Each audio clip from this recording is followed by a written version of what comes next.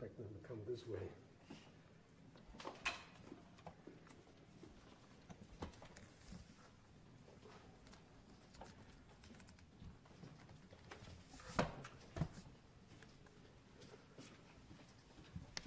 Senator Reed, how soon do you expect to mark up, uh, the hearing of General Austin? We want to go through the hearing first. How do you think the Senate will navigate a potential impeachment trial with confirmation hearings? That's, uh, I think Senator McConnell and Senator Schumer are dealing with that. Thank you.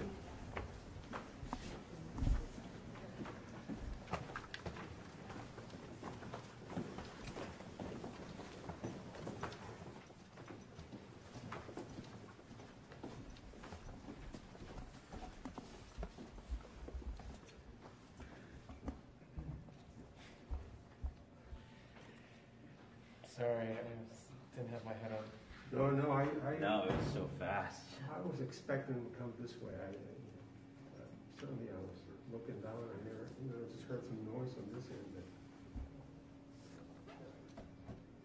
I mean, I did get a shot of him once I stopped and zoomed in.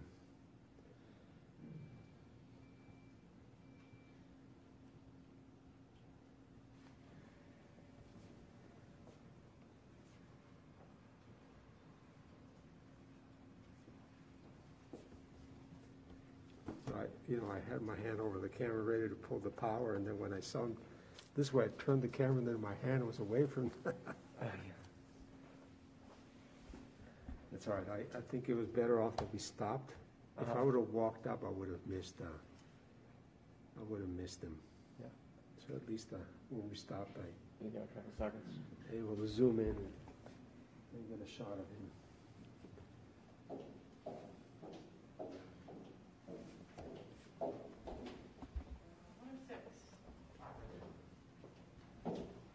You're here. Buenos Aires? Buenos Aires. Yeah.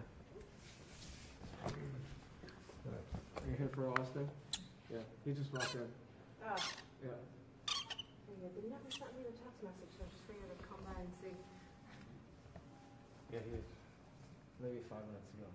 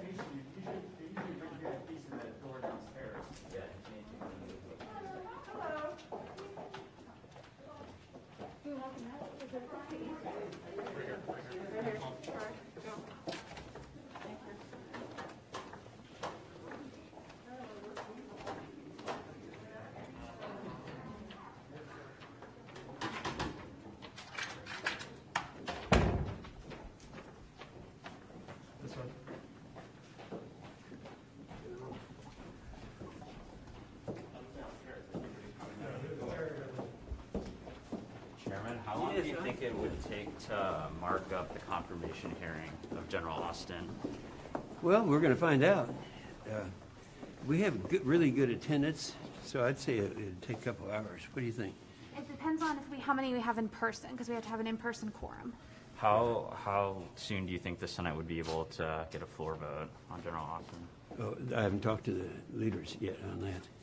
And then, do you think President Trump uh, committed impeachable offenses No, I at don't all? want to, I don't want to comment on that. Thank you very much.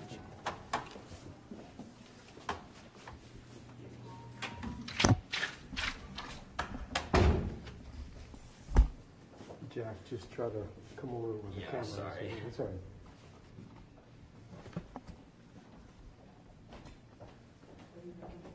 I'm thinking I just missed those shots I wanted, so I think I might be done here. That didn't work out, obviously, I To be missed fair, I Austin haven't tried to entirely. get here yet. What were you doing today? I was up in the CPC, just pulling from Haines, and, and now I'm gonna pull from Austin. I wanted to see if I could grab a, an actual shot of him walking. Were you able to? No, I got, he, he told me I literally got here five minutes after you, were- you got in there. What time did you get here? Around 2:45? Yeah. I was ju- just trying to find my way here. Oh, right. They usually don't bring them that way. I don't know how. Yeah, it surprised us all. I was- Especially I with all the should've- security, Yeah. you'd think they just drop them, that would be the easiest, they're dropping Yeah. right there. You know what though, I should have thought of it though, cause I came up to that door first, tried to open it and it was all locked. It should have occurred to me. Oh, you actually walked? Oh, no, he I actually, tried to walk he up came way. in from the, from the left. He must have oh. come in Well, by the you know, elevators. I bet like a garage situation. Gotcha. Oh, yeah, yeah. Yeah, I bet that, Maybe that's what it was. because they obviously didn't drop them there, Yeah. or unless they Yeah. dropped them from Hart Building. Yeah, I don't know where he Did is. you guys Yeah, 'cause even get tried any? to come in through those doors and they were like oh, all locked. Yeah, they've been locked for a while. Did you guys even get any footage of them? Or Yeah, yeah, it was a, it All right. was a brief two, three seconds, but slow down and he's, he's there.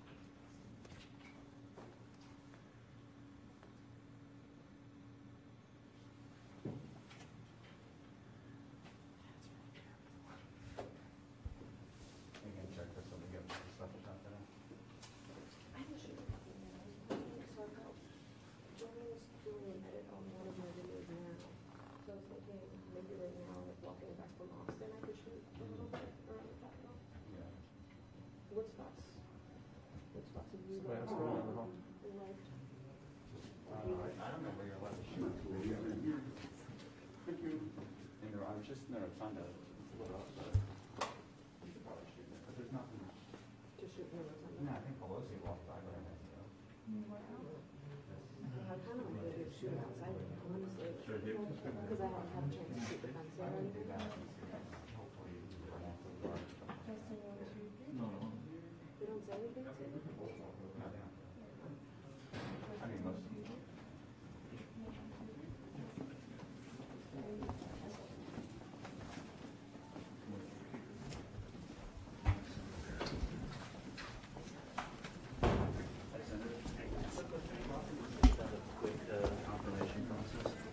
Yes, I am, I am, thank you. Senator, how long, how do you think the Senate should navigate a potential impeachment trial? With- My, my with focus is, my focus is confirmation and COVID relief. The leadership will make a call about that.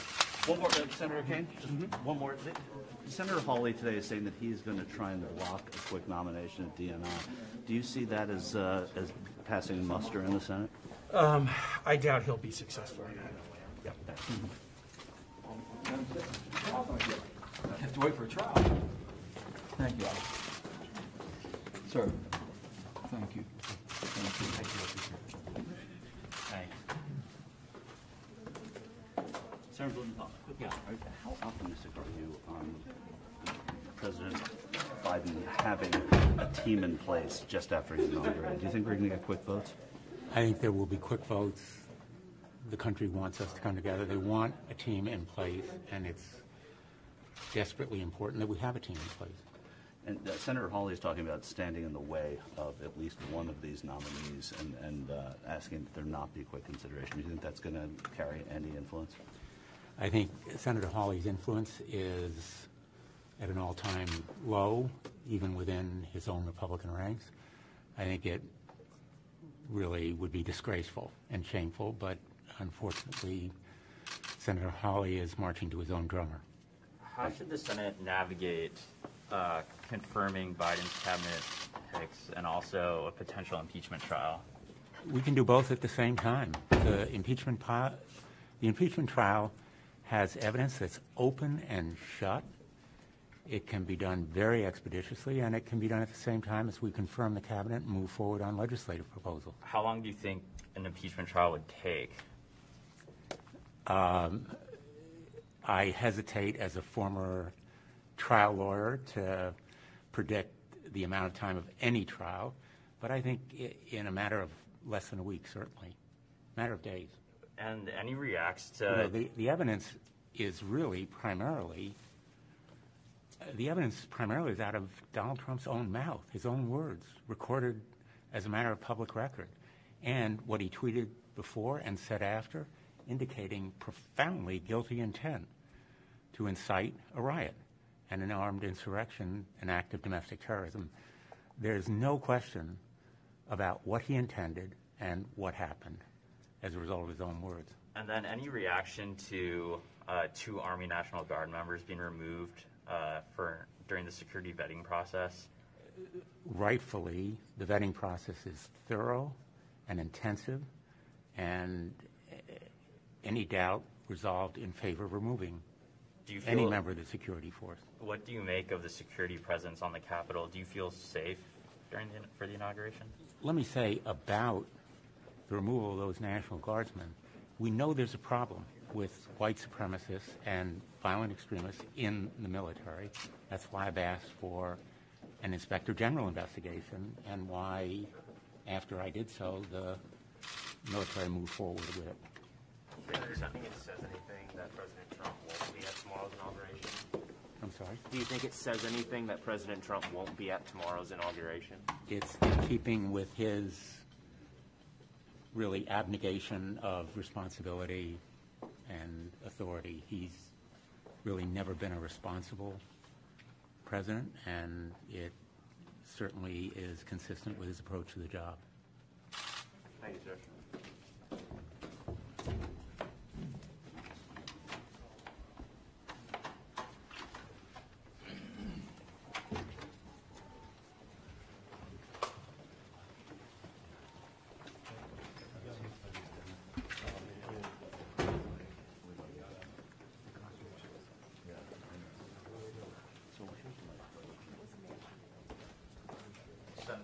Should the Senate navigate a potential impeachment trial with confirming Biden's cabinet? Oh, I think we're trying to work all that out now. It's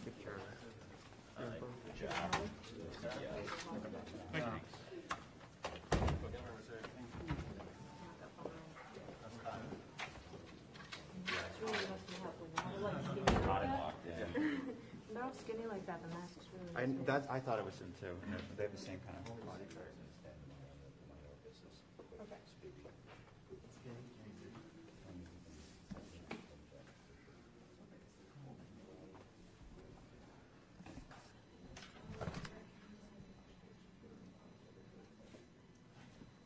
Okay. And a warm welcome to Charlene, your wife of more than 41 years. Now, my wife and I were 61 years. Think you'll make it? All right. We uh, uh, are very happy, Mr. Austin, you'll be introduced now by Senator Sullivan, a member of our committee, Senator Sullivan. Thank you, Mr. Chairman. Last time we were together as senators, our Capitol was under siege. America's authoritarian rivals abroad have been gloating about our disunity. Democracy brings chaos, they tell their people.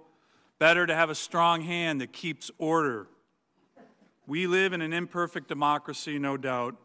In the American, I am proud and honored to introduce Mr. Lloyd Austin, understands our imperfections more than many. But on closer inspection, the world's dictators have little to celebrate. Congress went back to work on January 6 to count electoral college votes. Tomorrow, there will be a transfer of power at the top of our government, as there has been since the founding of our republic. At some point, Chinese and Russian citizens will ask, why can't we do that?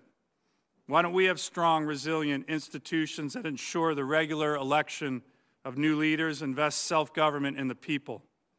When these questions are asked, authoritarians like Xi Jinping and Putin won't be gloating anymore because they don't have answers. What does this all have to do with Lloyd Austin? A lot. Mr. Austin has been nominated to lead one of America's most trusted institutions, the Department of Defense. Many of us have worked hard to rebuild our military, but we can all agree that there has been too much turmoil at the top. As its civilian leader, I am confident that Mr. Austin will bring steadiness, leadership, and respect to this indispensable institution.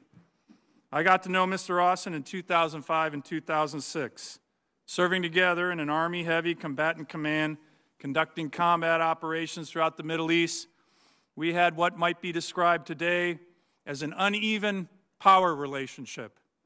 He was a two star general, I was a major. He had spent decades on active duty, I was a reservist. He was a soldier, I was a Marine.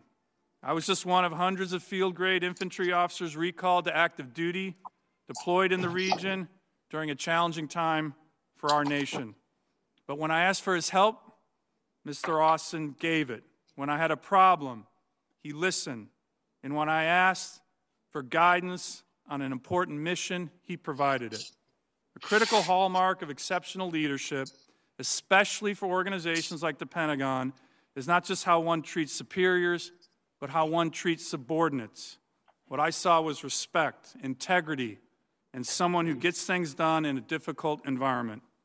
It is clear to me that the core principles of Mr. Austin's life have been duty, honor, country. That may sound quaint to some, but I think having individuals of impeccable character at the top of our government is more important than ever. Other than integrity, there's no singular requirement for the difficult job of Secretary of Defense. But as the former director of the Joint Staff and CENTCOM commander, Mr. Austin certainly has insights on critical issues such as interagency budget battles, working with our allies, and congressional oversight.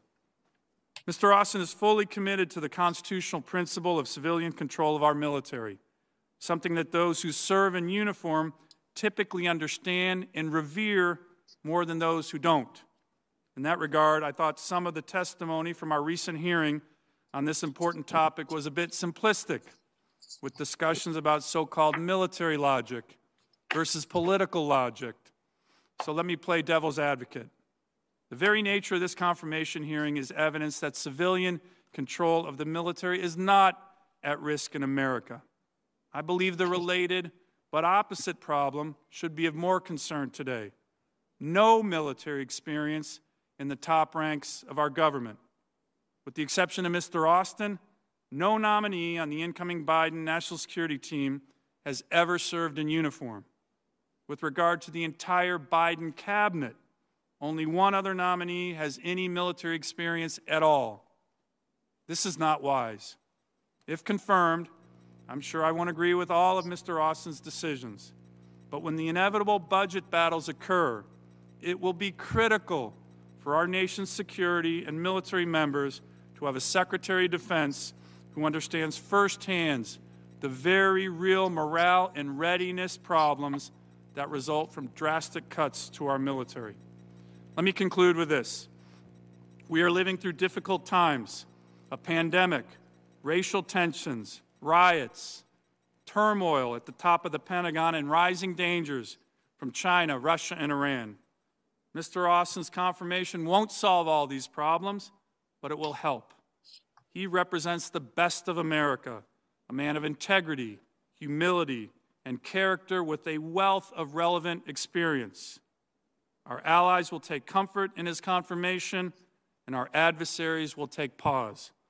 And as America's first black Secretary of Defense, he will be an inspiration to millions, both in and out of uniform. I urge my colleague, colleagues to support his confirmation and the waiver it requires. Thank you, Mr. Chairman. Thank you, Senator Sullivan, and I, I do agree with your comments uh, wholeheartedly, and I believe that uh, we're going to be doing the right thing here. Now we have a uh, another introduction by Secretary Panetta, a former Secretary of, uh, of Defense and a former very close friend of mine, and served together in the House together, and, and uh, it's, not, it's been too long. Uh, uh, Secretary Panetta, and you are recognized for your part of this introduction. Thank you very much, uh, Mr. Chairman. Uh, Senator Inhofe, uh, I, I always enjoyed uh, our friendship going back to the House of Representatives.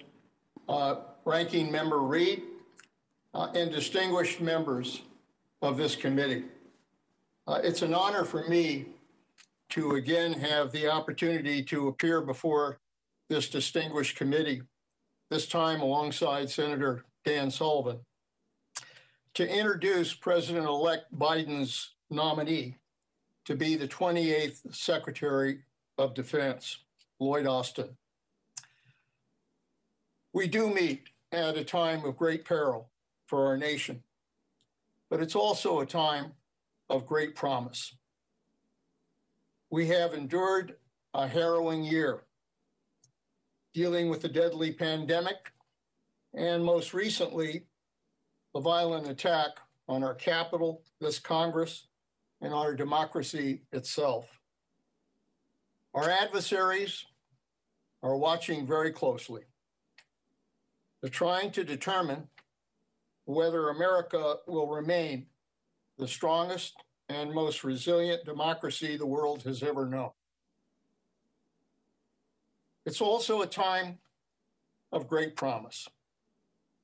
Tomorrow, at this time, our country will have a new president, a man who many of you know personally from his decades of service as a United States Senator, a man who I've known for over 40 years and had the privilege to work with during my years in the Congress, in the White House, and I was honored to serve him when he was vice president as CIA director and secretary of defense.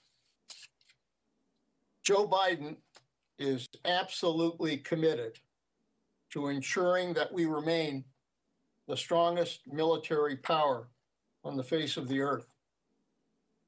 He believes that we must have the best trained, best equipped, and most capable fighting force in the world. And he believes that the Department of Defense must be led by someone who not only knows the issues of war and peace, but also knows the heart and soul, the women and men who bravely wear the uniform, put their lives on the line, and fight for our freedom. That's why he selected Lloyd Austin to serve as Secretary of Defense. Lloyd's accomplishments at the Department of Defense are without peer. He graduated from West Point. He's leading, he, he led troops at almost every level, commanded in combat, served as America's military commander during the drawdown in Iraq He served as Vice Chief of Staff of the Army and as Commanding General of the U.S. Central Command. And all of you know that that's one of the key combat commands at the Department of Defense. I met Lloyd when I came to DOD as Secretary in July of 2011. We had just six months to implement the drawdown in Iraq. And Lloyd was the man on the ground charged with getting it done. It was a huge logistical task. He consulted carefully with the president, with the vice president, the national security advisor, his colleagues at the State Department, and those in the intelligence community. And he carried out with diligence and professionalism the plan that was set forth by me and other civilian leaders at the Pentagon. He had to negotiate with the Iraqis, who were not easy to negotiate with at that time, and ensured that our troops and all of their equipment could redeploy safely while protecting America's core national security interests. I mention this episode because I know that many of you are wondering whether a former general officer can uphold the principle of civilian control of the military. I've spoken to Lloyd, and there is no doubt in my mind that he will uphold the principle of civilian control. And frankly, the best military officers that I had the honor to serve with are those who understand the importance of civilian control. And Lloyd was one of those. He will respect the civilian chain of command, enshrined not only in tradition, but in law. He will ensure there is transparency and accountability at the Pentagon. He'll make himself and department leaders available to this committee and to the Congress for oversight. And he'll provide regular briefings to the American people. He will support the appointment of civilian leaders across the office of the Secretary and the department.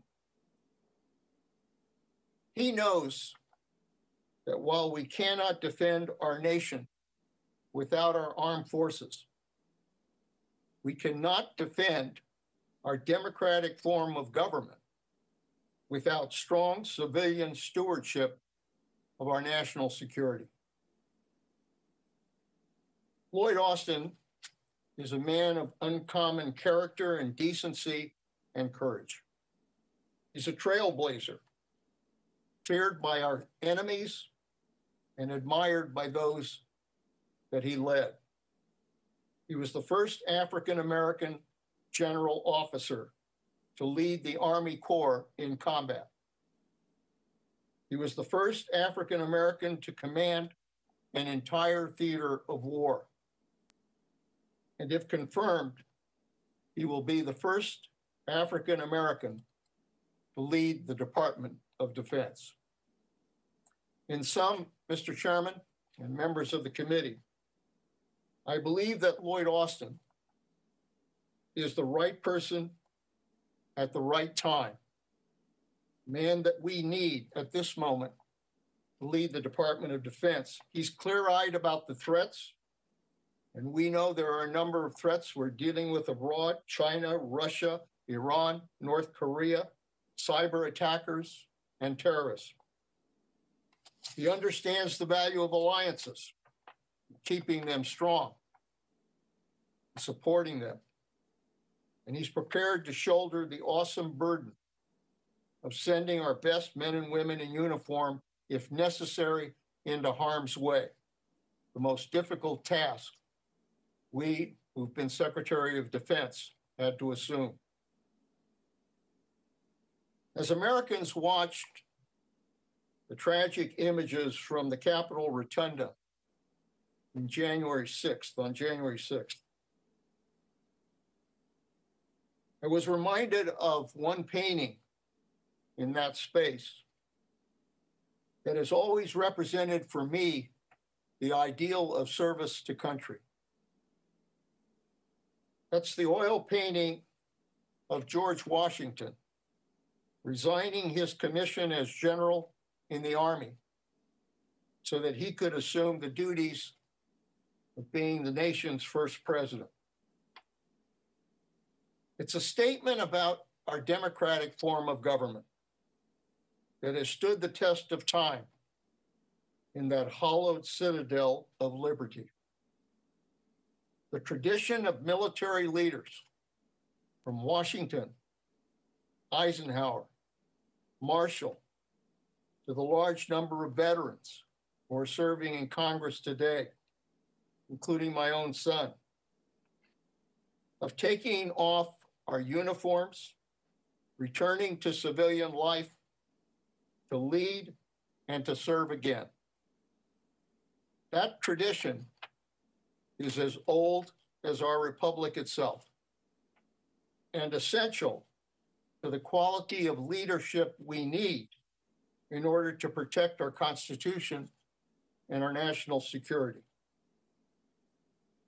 I am absolutely confident that Lloyd Austin will follow in that tradition.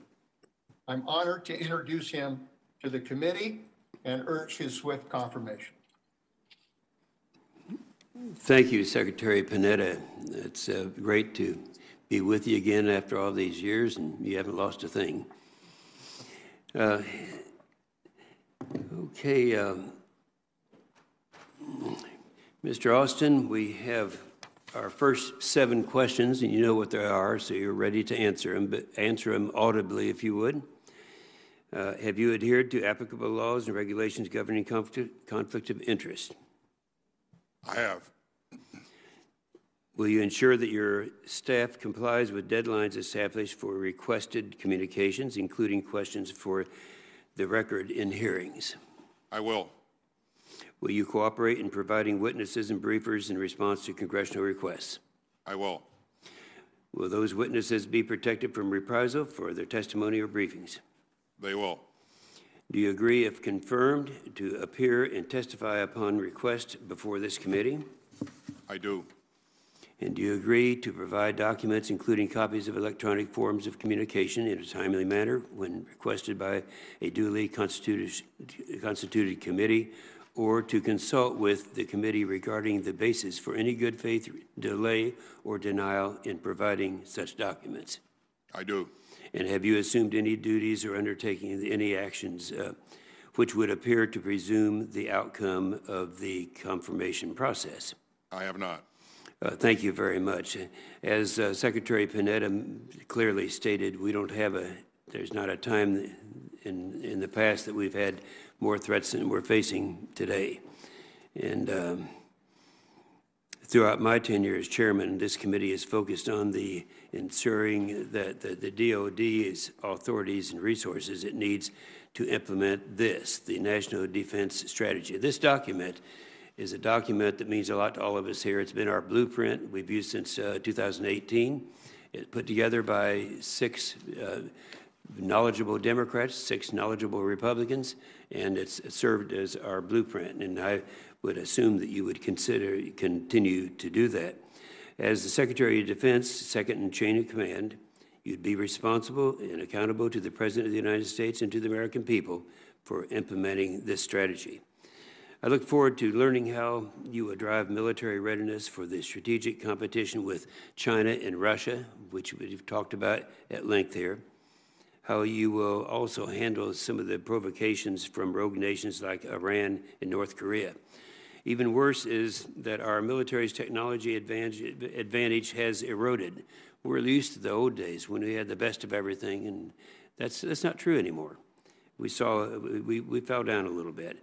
I know that between the years of 2010 and 2015, we were dropping our military, our, our defense in terms of dollars uh, down by about 25%, while China was increasing theirs, uh, uh, Mr. Austin, by 83%. And that's not acceptable.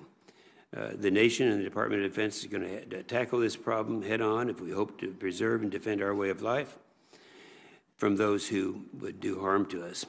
Now, if confirmed, you would have the honor of leading a team of Americans who represent everything that is noble and best for our nation, our soldiers, our sailors, our airmen, uh, Marines, Space Guardians, our military families. And by the way, on the military families, we always hear from those who are a little less enthusiastic about a strong national defense that we spend more than Russia and China put together. And there's a reason for that. The reason for that is we care about the families.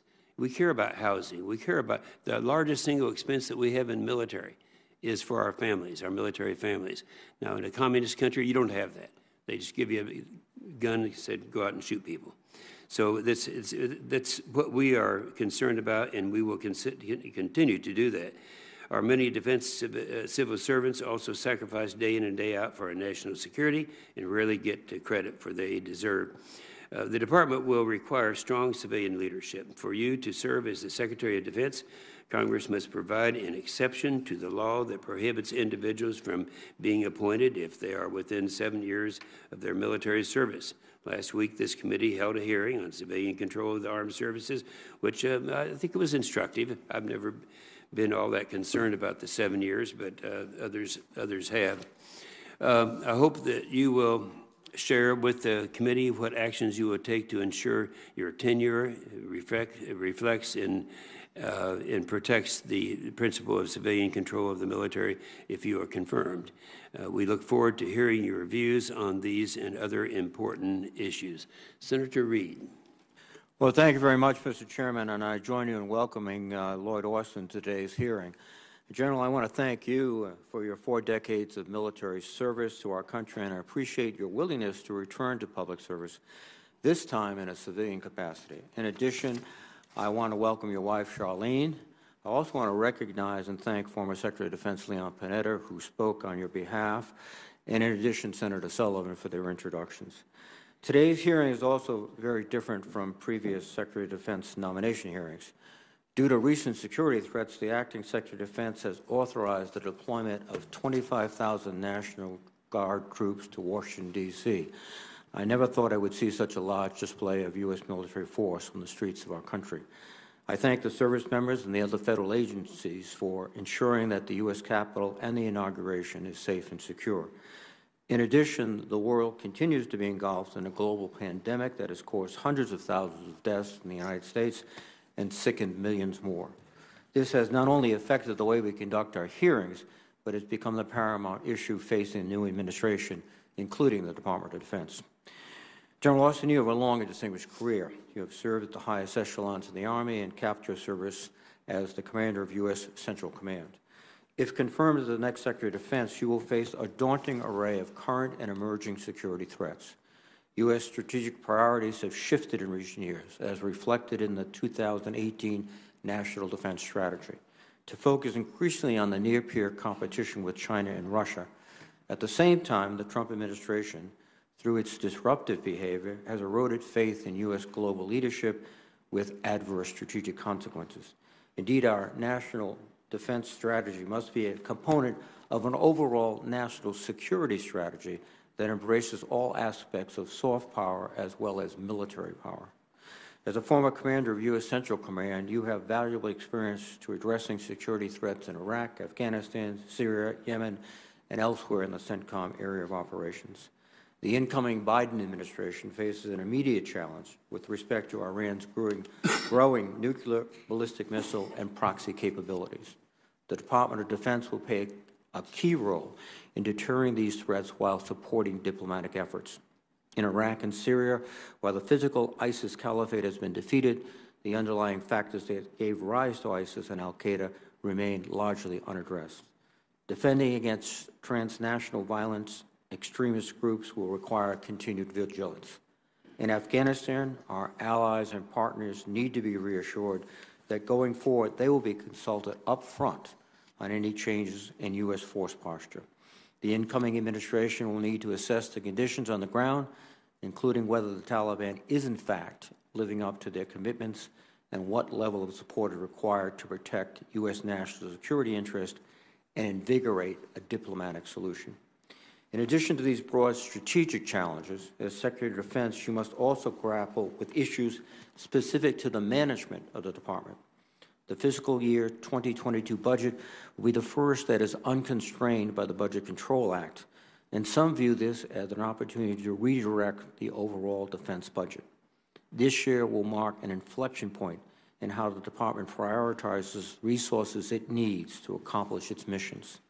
The department must focus its efforts on critical technologies like artificial intelligence, quantum computing, biotechnology, and cybersecurity, while also emphasizing rapid delivery of advanced new weapon systems on timelines that keep pace with technological change. The Department of Defense must partner with Congress to find ways to retire legacy systems without incurring too much risk operationally or economically. The department also has management challenges that require investment in great people to manage the complexities of the Pentagon and its processes rather than an endless search for budget cuts and workforce reductions. Ensuring robust funding for full spectrum readiness, including additional home station training, flying hours, steaming days, depot maintenance, and installation sustainment has been a high priority for this committee, and I expect it will be yours too. The department must also hold private housing companies and their defense chain of command accountable to ensure families live in the homes they deserve. Our men and women in uniform and the civilian workforce that supports them remain this committee's top concern, and they must be yours as well.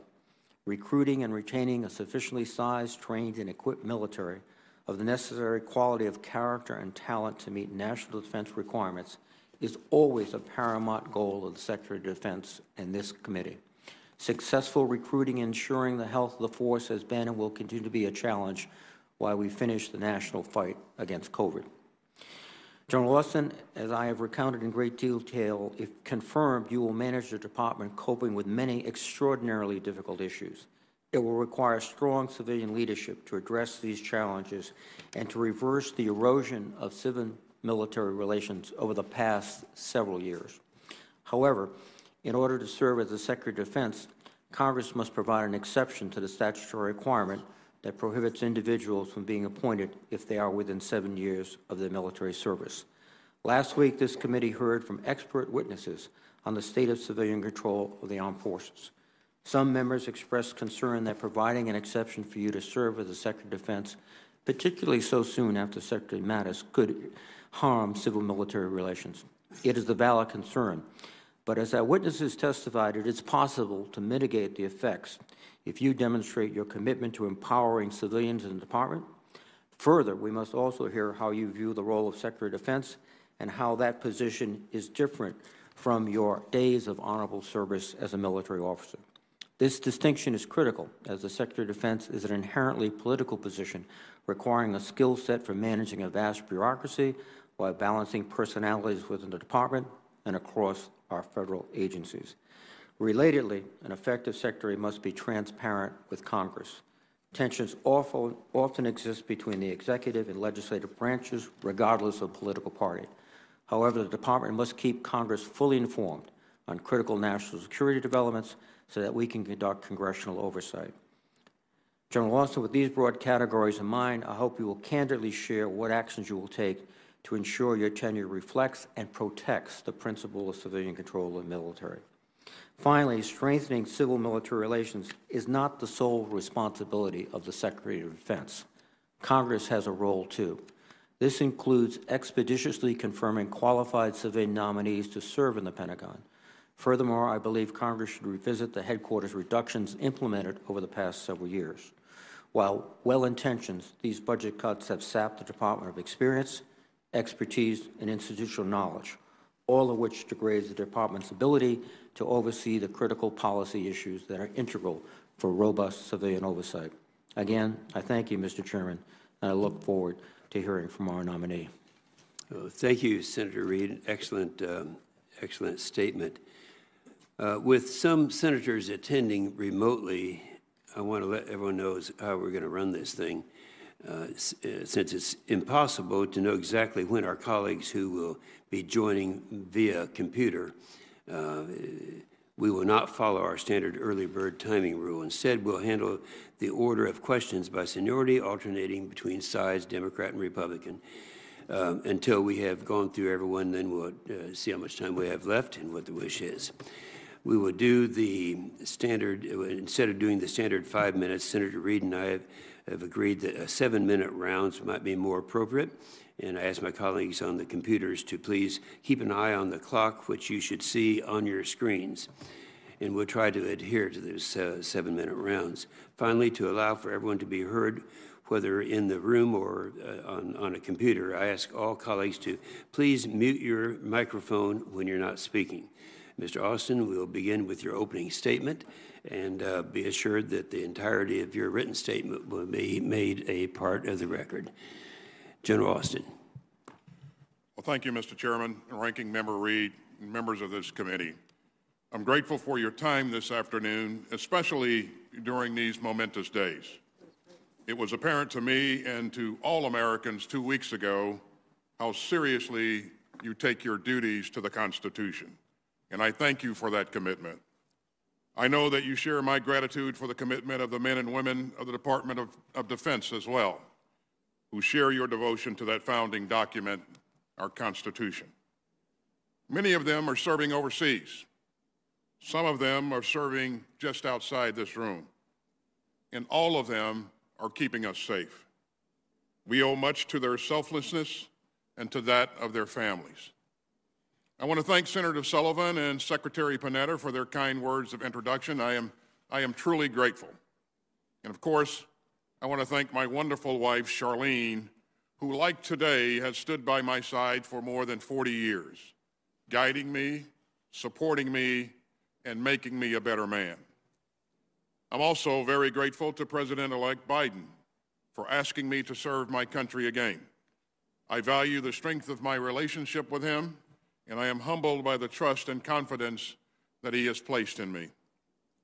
And I hope this hearing will earn me your trust. Let me say at the outset that I understand and respect the reservations that some of you have expressed about having another recently retired general at the head of the Department of Defense. The safety and security of our democracy demands competent civilian control of our armed forces, the subordination of military power to the civil. I spent my entire life committed to that principle. In war and in peace, I implemented the policies of civilians elected and appointed over me, leaders like Secretary Panetta. And I know that being a member of the President's cabinet, a political appointee, requires a different perspective and unique duties from a career in uniform. I intend to, to surround myself with and empower experienced, capable civilian leaders who will enable healthy civil-military relations grounded in meaningful oversight. Indeed, I plan to include the Undersecretary of Defense for Policy in top decision-making meetings, ensuring strategic and operational decisions are informed by policy. I will rebalance collaboration and coordination between the Joint Staff and the OSD staff to ensure civilian input is integrated at every level of the process.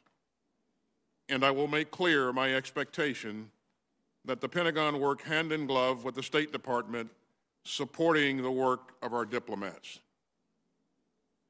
Now, I know that a large measure of civilian control of our military lies right here with this body. And if you confirm me, I assure you that the Pentagon, under my leadership, will respect your oversight responsibilities. And we will be transparent with you. And I will provide you my best counsel, and I will seek yours. And just like you, I will take seriously the many challenging, many challenges facing our country, the most immediate of which, in my view, is the pandemic. And if confirmed, I will quickly review the department's contributions to coronavirus relief efforts, ensuring that we're doing everything that we can to help distribute vaccines across the country and to vaccinate our troops and preserve readiness. We'll also do everything we can for our military families they too are educating kids at home and losing their jobs, and trying to stock the pantry. I know this committee shares my view that we owe them our best efforts to lighten that load. We also owe our people a working environment free of discrimination, hate, and harassment. And if confirmed, I will fight hard to stamp out sexual assault and to rid our ranks of racists and extremists and to create a climate where everyone fit and willing has the opportunity to serve this country with dignity. The job of the Department of Defense is to keep America safe from our enemies. But we can't do that if some of those enemies lie within our own ranks. For those enemies and adversaries outside the ranks and around the world, we need resources to match strategy, and strategy matched to policy, and policy matched to the will of the American people. Globally, I understand that Asia must be the focus of our effort. And I see China in particular as a pacing challenge for the department. And I know I'll need your help in, in tackling these problems and to give our men and women in uniform the tools that they need to fight and win.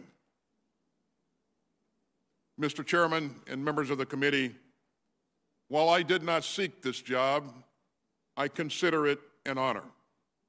And if confirmed, I will carry out the mission of the Department of Defense, always with the goal to deter war and ensure our nation's security. And I will up uphold the principle of civilian control of the military as intended. And I would not be here asking for your support if I felt that I was unable or, or unable or unwilling to question people with whom I once served in operations that I once led, or too afraid to speak my mind to you or to the President. I was a general and a soldier, and I'm proud of that. But today I appear before you as a citizen, the son of a postal worker and a homemaker from Thomasville, Georgia, and I'm proud of that too. And if you confirm me, I am prepared to serve now as a civilian, fully acknowledging the importance of this distinction. And I thank you again for consideration of my nomination and for your steadfast support of our men and women in uniform, our civilians, and their families, and I look forward to answering your questions. Thank you, Mr. Chairman. Thank you, General Austin. Great statement. You heard my comments, General Austin, about the the document, the National Defense Strategy. You're familiar with this. I'm sure you've read it many times. Uh, what do you think about its relevance today? Uh, have you seen changes that should be made in this, or what, what's your feeling today contemporarily about this statement? I think much of the document is absolutely on track for today's challenges, uh, Mr. Chairman. Uh, as is the case with, uh, with all strategies, uh, if confirmed, one of the things that I would look to do is, is to work to update the strategy Mm-hmm. and work within the confines of the guidance and the policy uh, issued by uh, the current, uh, the next administration. Yeah, well, that's right, and the guidance also from this, this document, uh, I, th- I think is still relevant today. In this document, the uh, previous two Secretaries of Defense, Secretary Mattis, Secretary Esper, both agreed that that document, uh, it it prescribed that we'd probably need a 3 to 5 percent re- real growth in defense budget effectively in the coming years. Uh, Do you agree generally with that statement? Well, Mr. Chairman, as I, as I said in the opening statement, I believe that our resources need to match our strategy, and our, our strategy needs to match our policy. Yeah, I would assume that would be yes. And others were going to be asking about the civilian and military relations. I know that, but let me cover a couple of things that I, I think are, are important. The, um, on the nuclear triad, a lot of people who are, have different ideas on what we should do and the priorities we have in, uh, in uh, our, our defense system. Uh, that we they try to whittle away at the nuclear triad, and uh, uh, we have always felt, and the secretaries of defense, uh, that nuclear deterrence is. Do you agree with them that nuclear assessment that nuclear deterrence is the DoD's highest priority mission? I do, Mr. Chairman. And do you agree that the triad, the, the, the- land, air, and sea-based nuclear delivery platforms uh, are still necessary, even though we do hear a lot of arguments that two of the three would be adequate? What do you think? Mr. Mr. Chairman, I believe that the Triad has served us well uh, in the past, and I certainly believe that it will continue to do so going forward. And I personally support the Triad. Good. I, uh, we've had kind of a forgotten continent for a long period of time in Africa. I can remember when Africa was in three different commands. It was in the, uh, uh, the PACOM, the uh, Central Command, and, uh, and the EUCOM. uh, EUCOM. And we came along with uh, AFRICOM, and I think it's, things have really improved since that time.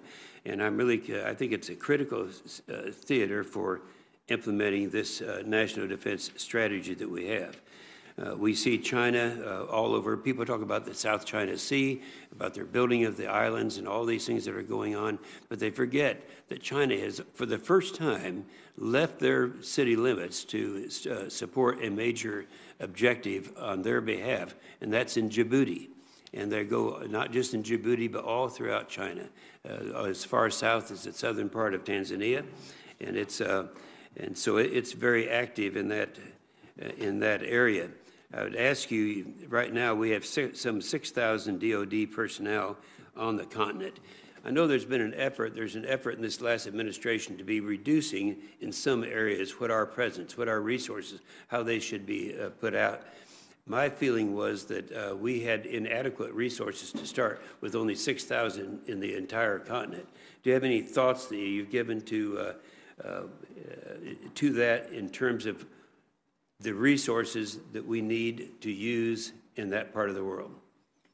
Mr. Chairman, uh, Africa, like some other places in the world, has been, has been uh, one of those places where we've been able to uh, gain good effect uh, by, with a small amount of uh, investment, by helping to, uh, helping our partners to increase their, their ability to uh, defend their sovereign territory and to protect themselves. That- That's, that's excellent. We, we have to keep in mind that they have, many of our closest allies are there right now, and if we should deteriorate our presence in any way, we would, uh, I, I- have a feeling they'd do the same thing. So I appreciate that uh, very much.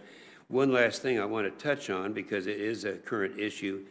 Ever since the International Court of Justice ruled way back in in 1975, I believe it was, that, uh, that we have uh, in Western Sahara, we uh, supported a referendum for self-determination. Now, the United States has da- done that ever since the 1970s. The UN has done that since the 1970s. The African Union has done that, and most all of the 52 nations of Africa have all stated that the Western Sahara should have a referendum for self-determination. What do you think? Well, that's uh, an issue that I certainly would uh, want to take a closer look at, uh, Mr. Chairman, before I gave you a, uh, a, uh, a detailed answer. But I, it's one of the things that I'll, I'll look at, uh, if confirmed, right away going into the, into the position. Yeah, and I'd like to have you keep in mind that they have been consistent for so many years now. And, uh, and so I would, I would anticipate that yours, your feelings would be the same.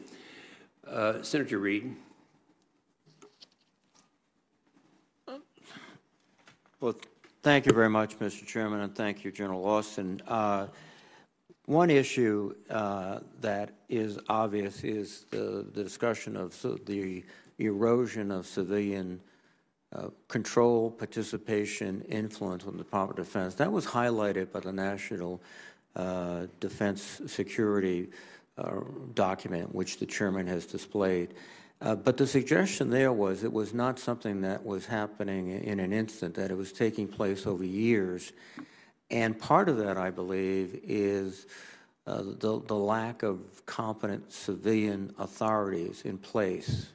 Um, There are many individuals, as I suggested in my statement, that are acting. There are others who are uh, civil servants who have been pushed up into uh, jobs that normally require confirmation. And there's been a, a lack of uh, sometimes candidates for confirmation. So I would ask you, uh, if you are confirmed, will you do your utmost to ensure that every position, civilian position in the department is filled, that we get nominees promptly? I know you have to work through the White House, and that uh, other individuals will be uh, put in positions where they are both skilled and qualified. Absolutely, uh, Senator Reed. I, I will do everything I can to move as quickly as I can to, to move to fill those positions with experienced and competent, uh, qualified uh, civilians. And I, I will need the help of, uh, of this body to make sure that, uh, that we're moving quickly. Yeah, I concur. We, we, this has to be a collaborative effort. I think in addition to that, it, uh, with the civilian employee uh, members, uh, and as you suggest in your remarks, you have to ensure that there's a, a, very appropriate uh, working relationship with uniformed personnel, particularly in the joint staff. And I, from your comments, I assume you, that'll be one of your priorities, to make sure that, and indeed that the civilians have a, a, a critical role in that uh, process. Is that correct? It's absolutely correct, uh, Senator Reed. It's, uh, I think it's imperative that the, uh, the OSD staff maintain primacy in terms of uh, crafting strategy and policy. And I think, uh, you know, we need, we'll need the right uh, civilians in, the, in key positions to help, help us do that. And we've already begun to move down that road. You've seen uh, Colin Kahl nominated to be uh, the Undersecretary for Policy, uh, very talented young man that, that will do well. You've seen Kath Hicks nominated to be the Dep Deputy Secretary of Defense. So we're off to a good start, and we'll continue to maintain momentum in filling those positions and making sure that we rebalance the, the, the workload between the joint staff and, and the Secretariat. Thank you. Uh, on another subject, uh, uh, the need for strengthened alliances uh, seems to be obvious, but uh, something that you're going to have to take on immediately.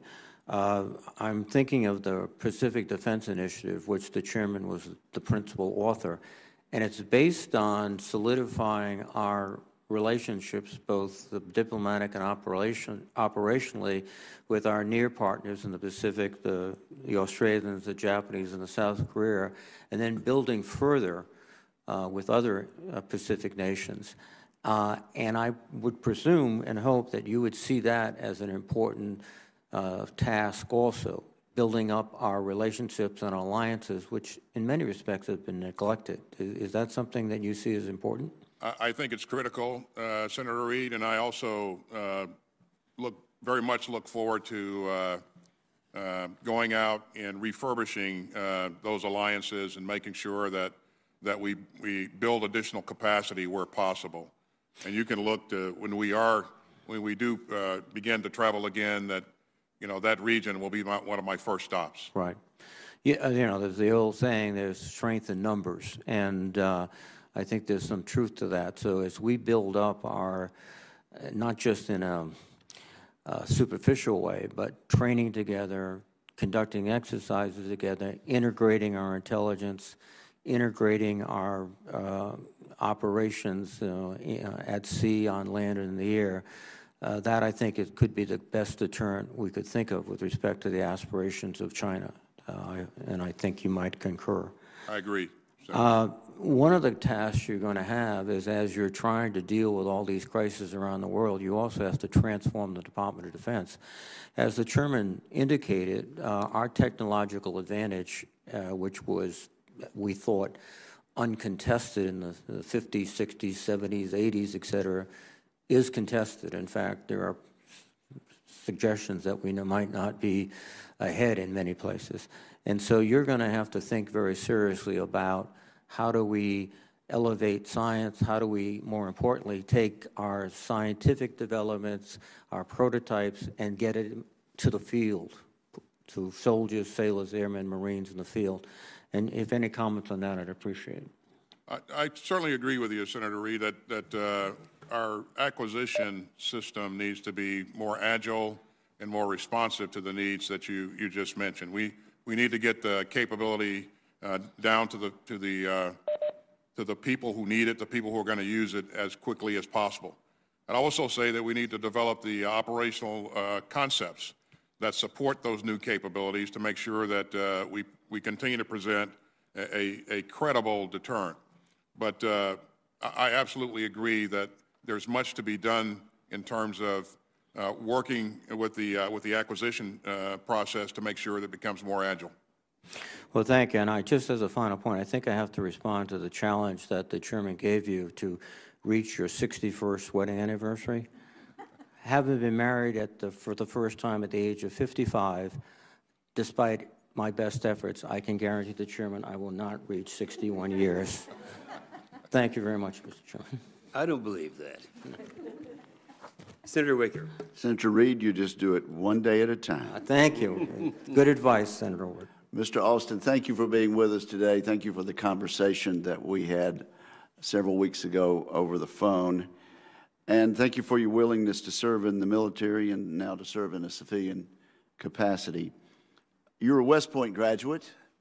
Um, I pointed out to Senator Reed that I'm wearing an Army tie today uh, in, in your honor, but I suppose also in honor of, uh, of Senator Reed and all the distinguished Army folks. Uh, I'm, an, I'm an Air Force veteran myself, uh, but I'm also a former chair of the Sea Power Subcommittee.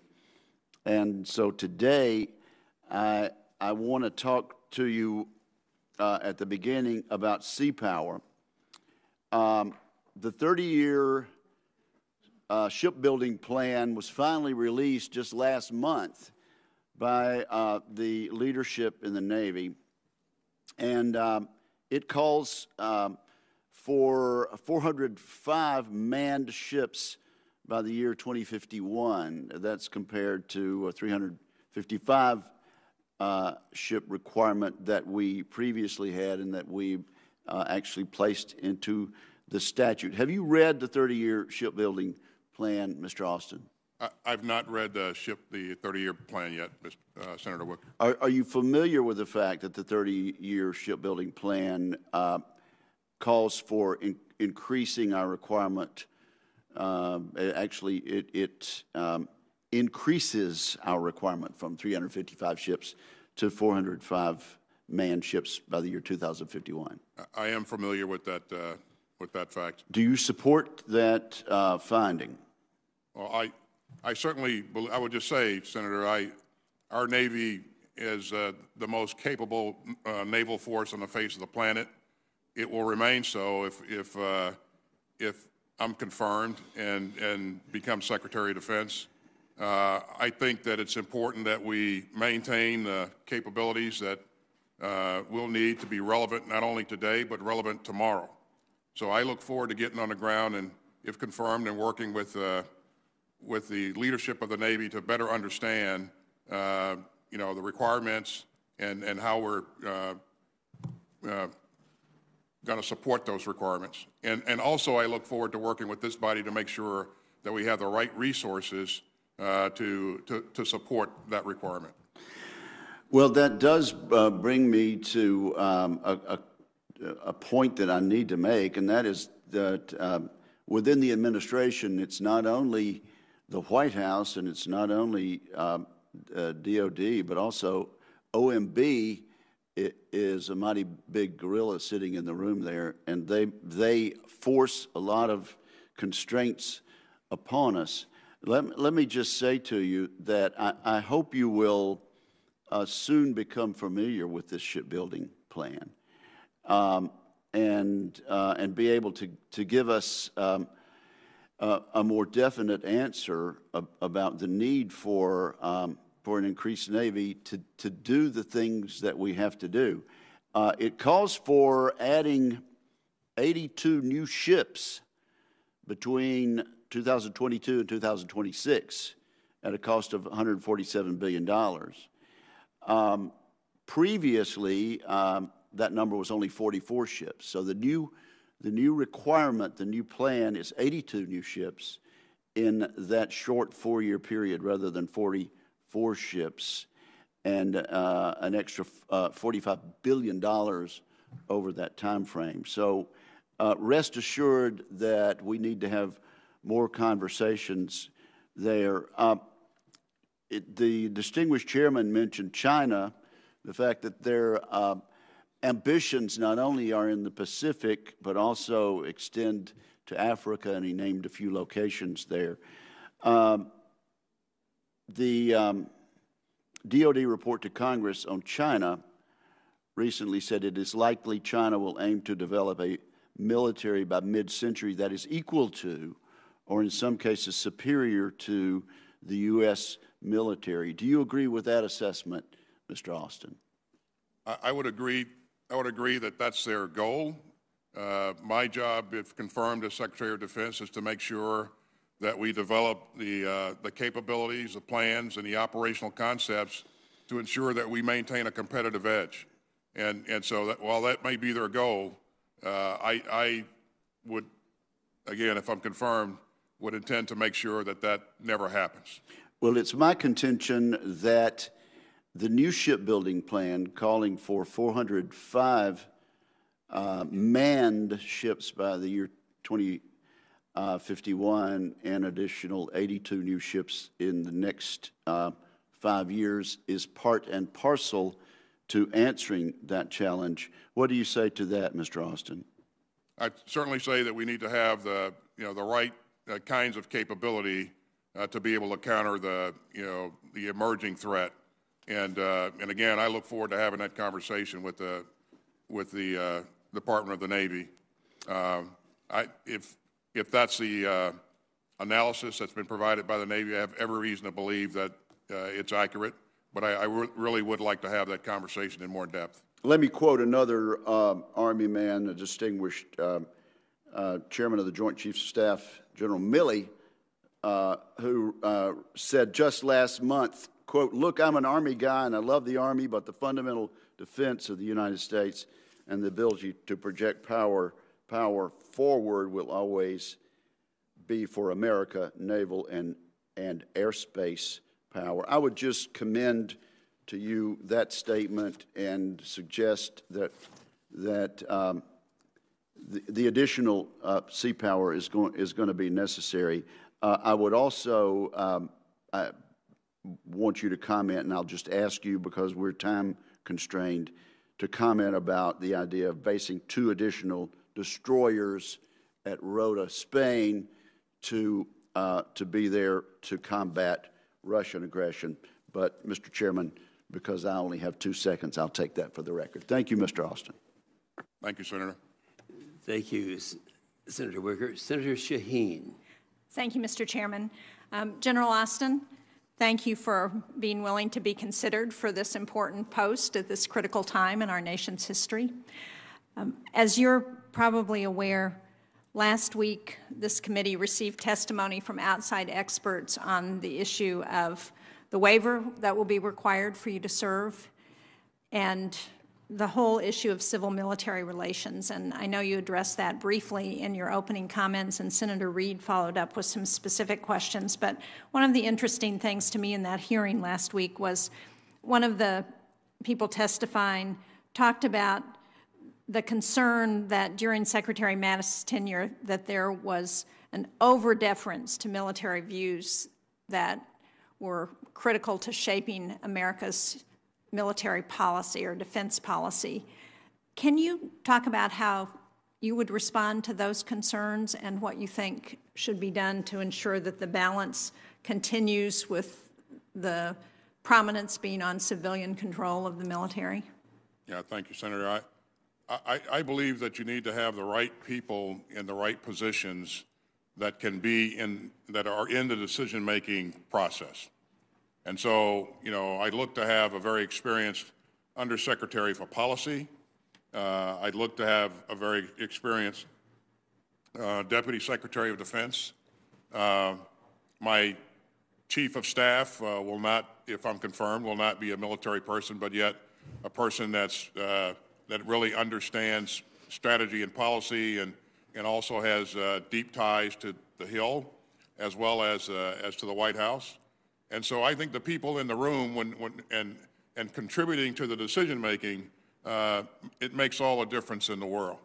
So to answer your question, I will make sure that, that, you know, we staff the positions with the right people who, who have the right experiences and who are not afraid to, uh, to provide their input, and I will empower them uh, to make sure that, uh, you know, they have the flexibility to, to, to get the job done, to coordinate with the joint staff and, and coordinate with uh, other agencies to ensure that we have a policy, uh, have uh, significant policy input on every decision. Well, thank you. I appreciate that, especially the importance of the empowerment of those individuals. When we talked shortly after your nomination was put forward, I, we talked about two of New Hampshire's um, military installations that we are very proud of. The Portsmouth Naval Shipyard, which is shared between New Hampshire and Maine, and also our 157th Air Refueling Wing at Pease National Guard, which was the first Air National Guard base to receive the new KC-46 refueling tanker. And there are two long-term concerns that I have about those installations. One is the shipyard optimization plan as we look at the need to invest in our public shipyards in the future. That optimization plan is going to be critical to ensuring that the capacity is there, not just at the Portsmouth Naval Shipyard, but our other public shipyards to support our naval fleet. And I hope that you will remain committed to that plan and to moving forward with that plan as we look at the, at the upcoming years. I- will, Senator. Um, and the other is the KC 46 and the continuing issues with getting that tanker online. Um, as you know, the most recent one is the remote vision system, which still is not fixed in a way that allows those tankers to fly and do the refueling mission that is so critical. Um, again, I would hope that you will stay on that issue with Boeing and make sure we get those planes right so that they can do the refueling that we're paying for them to do. Uh, you- uh, I will absolutely stay on this, uh, on this issue. I think it's critical. It's a critical component of our overall force. And, uh, and so I think it's, uh, it's important that, uh, that we continue to press and, and get this capability to where it needs to be. Great, and I hope you will come up to New Hampshire and visit both of those installations at some point in your tenure, if confirmed. Um, I would like to ask you about Afghanistan next, because as we look at where we are in Afghanistan, the treaty or the agreement, I don't know what we want to call it, because clearly the Taliban is not complying with what have been announced as concessions that were made as part of that agreement. Um, also, the failure of that agreement to take into consideration the role of women and minorities in Afghanistan that have been so important as they have written a new constitution. And as we look at ending conflict there, one of the things we know from the data is that when women are at the table in negotiations, that there's a 35% better chance that those peace agreements will last 15 years or longer. So this isn't just for the optics, it looks great to have women at the table. It's about how do we ensure that those negotiations are long lasting. And I wonder if you can talk about what you would like to see at this point in um, Afghanistan as we think about how do we withdraw there in a way that leaves a country that enshrines some of the changes that have been made to support a new constitution and all of the effort that's been put in there by the United States and so many other countries in the world. Well, Senator, I, I certainly would like to see uh, this conflict end with a, with a negotiated settlement. Uh, and I think we're going to make every effort uh, uh, that we can to, to ensure that that happens. I would also like to say, you know, up front, um, I am truly grateful for the sacrifices of the thousands of men and women that have gone through Afghanistan and, and given so much, sacrificed so much. Uh, to, to, your point, uh, their work has made a difference. Um, but I think uh, this conflict needs to uh, come to a, a, you know, an end, and you know, we need to see a, uh, an agreement reached, uh, and and to in accordance with what the president-elect wants to see, I think we want to see an Afghanistan in the future that does not present a threat to America. So a focus on, uh, on some counterterrorism issues, I think in the future, I think would be helpful. Thank you, thank you, Mr. Chairman. Thank you, Senator Shaheen, and uh, via WebEx, Senator Fischer. Thank you, Mr. Chairman, and welcome, General Austin. Uh, This committee has consistently heard testimony, including from every STRATCOM commander who has appeared before this committee since I've been a member, recommending against making unilateral reductions to our nuclear forces. Do you agree that making uni- unilateral reductions is unwise? Se- Senator, I'm having a tough time. Yeah, the volume seems not to be high enough. If anyone knows how to adjust that, this is a good time to do it. Let me see if I do. That, that sounds better. Do you hear me okay? Yes. Okay. I was asking, sir, about uh, making unilateral reductions to our nuclear forces. Uh, Do you agree that making these reductions unilaterally is unwise? I, I, I- think that uh, we should, um, you know, I look forward to uh, getting on board if confirmed and, and having uh, an ability to kind of look under the hood and, and see exactly what we're doing with our nuclear uh, forces. Uh, So uh, once I've had a chance to do that, Senator, I would love to come back and, and, and discuss it with you. In your um, answer to some questions that were sent over to you, uh, you said that, um, you said, "I believe it is in the national security interests of the United States and its allies and partners to pursue formal, verifiable arms control agreements that reduce the nuclear threats from Russia and China." Is that correct? That's correct, Senator. So reductions should be made through negotiated, verifiable agreements, not unilaterally. Is that right? That's correct. Okay, thank you, sir. Um, Another fact that has been consistently emphasized by civilian officials and military leaders in both the Obama and Trump administrations is that nuclear modernization cannot be delayed any further. Speaking in 2016, President Obama's Secretary of Defense Ash Carter put it in the following way. The fact is, most of our nuclear weapon delivery systems have already been extended decades beyond their original expected service lives. So it's not a choice between replacing these platforms or keeping them. It's really a choice between replacing them or losing them. That would mean losing confidence in our ability to deter, which we can't afford in today's volatile security environment. More recently, Admiral Richard, the current STRATCOM commander, in his posture statement last year, testified that, quote, many of the modernization and sustainment efforts necessary to ensure that deterrence viability have zero schedule margin and are late to need, end quote. He went on to state, we cannot afford more delays and uncertainty in delivering capabilities and must maintain a focus on revitalizing our nuclear forces and the associated infrastructure. Uh, General, is this also your understanding of the modernization schedule? Well, I, uh, again, and I misunderstood your first part, uh, first part of the question there when you were, when you started out. Uh, What I wanted to tell you was I really look forward to getting into the details of the nuclear modernization program, uh, you know, if, if confirmed. And, you know, I, I really would like to say, to- to be able to look at the details of exactly what we're choosing to invest in uh, and, and the timelines associated with that. And I, I would love to come back to you and, and discuss that with you. I would have your insurance, assurance, though, that you would, of course, uh, be visiting with the current STRATCOM combatant commander as well as previous ones about the, the need to make sure that we have these uh, platforms that we need. That will And be a- also, That will be a Go top ahead. priority, Senator.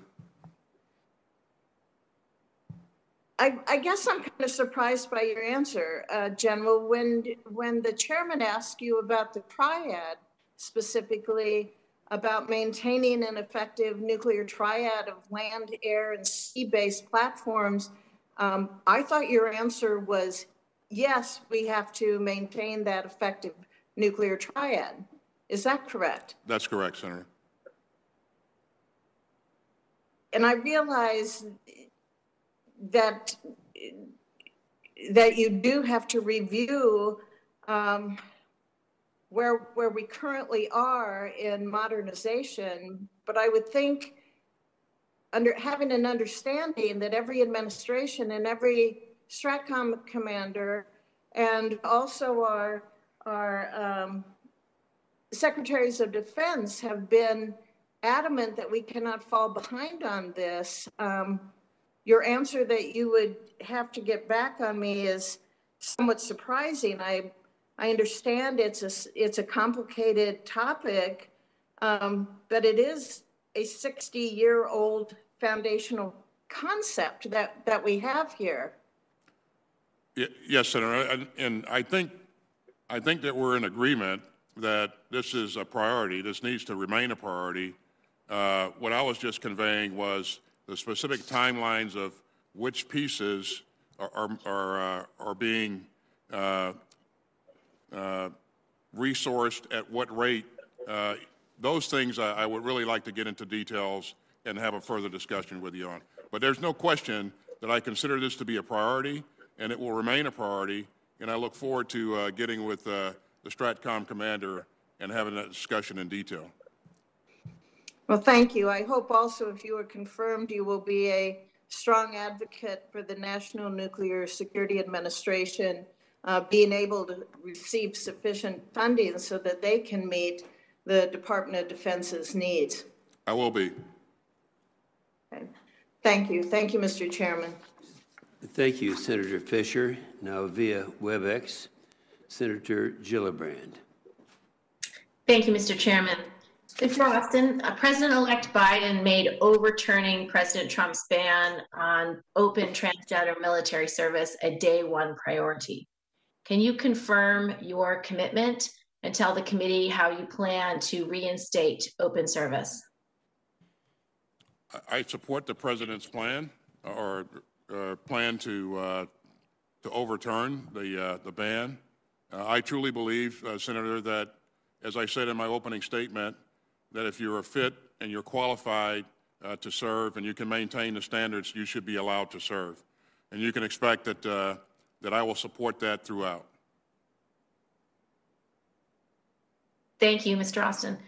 Uh, when we met together, we talked at length about the scourge of military sexual assault uh, in the military. Uh, we talked about um, how this has been an issue for decades and in fact, we talked about all the efforts that the Department of Defense has made over at least the last decade that I've been on the Armed Services Committee to try to eradicate it. Every Secretary of Defense, Defense um, from the last 25 years has said there is a zero tolerance for sexual assault in the military.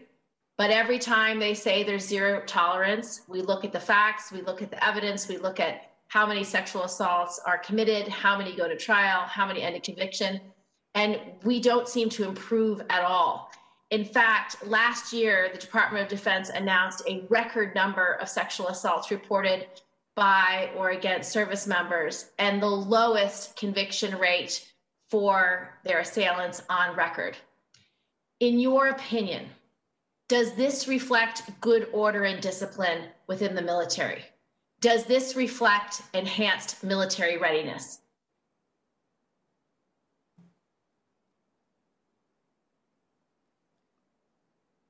Senator, I, I take the, the issue of sexual assault seriously and personally. And to, the, to your point, Senator, I think uh, we put a lot of effort into this, and, and, and I'm grateful for all of the effort that you have personally put into this and this committee has put into this. But we have not gotten better, and we have to get better, and we will get better. We have to, we have to go after the culture, we have to go after the climate. We, we, this is a leadership issue, it's a readiness issue. And it starts from the top, and we got to work from the bottom as well, simultaneously. So therefore, is your answer yes, that it does not reflect good order and discipline and does not affect, uh, does not reflect the readiness that you would like your service to have? That's correct, Senator. Furthermore, the most recent Pentagon survey on the topic found that 64% of sexual assault survivors who reported their crime perceived some form of retaliation for reporting that crime, often from the exact chain of command that's supposed to protect them. This number is statistically unchanged from 2016. Does this suggest to you adequate progress on what the top brass has promised to do year after year? Do you believe that this is sufficient progress? I absolutely do not believe that it's, it's progress, Senator. Well, given the total lack of progress or accountability within the military justice system, do you believe that a new approach must be taken? Because as we discussed the recent events at Fort Hood, a new approach is clearly warranted. What is your view on that? I, I certainly believe that, that we, do, we need to do better, a lot of things better in terms of uh, in, investigation and, and prosecutions. And, uh, and I think uh, we, we have to look at this holistically. And I, I, I'm, i know that you know that President-elect has committed to uh, standing up a 90-day commission to really look at this soup to nuts. And I look forward to the, uh, you know, to the, the readout of that commission, but I won't wait for 90 days to get after this. As I indicated, this starts with me, and you can, you can count on me getting after this on day one. Well, to be honest, um, President elect Biden said much more than that. He promised much more than a commission. He said, in fact, when asked directly by Protect Our Defenders Nancy Parrish if he would support, quote, moving the military justice system into the 21st century by allowing military prosecutors to make prosecute, prosecution decisions for non military crimes, serious felonies like rape, murder, and child abuse, end of quote and that President-elect Biden in response said, quote, yes, yes, yes, end of quote. So do you share President-elect Biden's commitment to move prosecutorial decisions outside the chain of command and giving that decision to trained military prosecutors? I would like, if confirmed, I would like to work with the chain of command and, and uh, very rapidly uh, assess uh, what things uh, that there are that need to be that need to be fixed or addressed, and I'd like to make those recommendations and provide those assessments to uh, to the president-elect. But you do agree that we can't keep doing the same thing that we've been doing for the past decade. I absolutely agree with that, Senator. I absolutely agree with that. Do I have your commitment to be relentless on this issue until we can end the scourge of sexual violence in the military? You have my commitment. Okay. I'd now like to move to civil military relations. Mr. Austin, scholars rightly argue that the Secretary of Defense plays a critical role in maintaining balanced civilian military relations by explaining the military's activities to the public. Secretary Mattis, another recently retired general who required a waiver to serve, did not embrace this role. According to Bob Woodward's book, Fear, Mattis grew so tired of being asked to appear on Sunday shows that he threatened to send Sean Spicer to Afghanistan.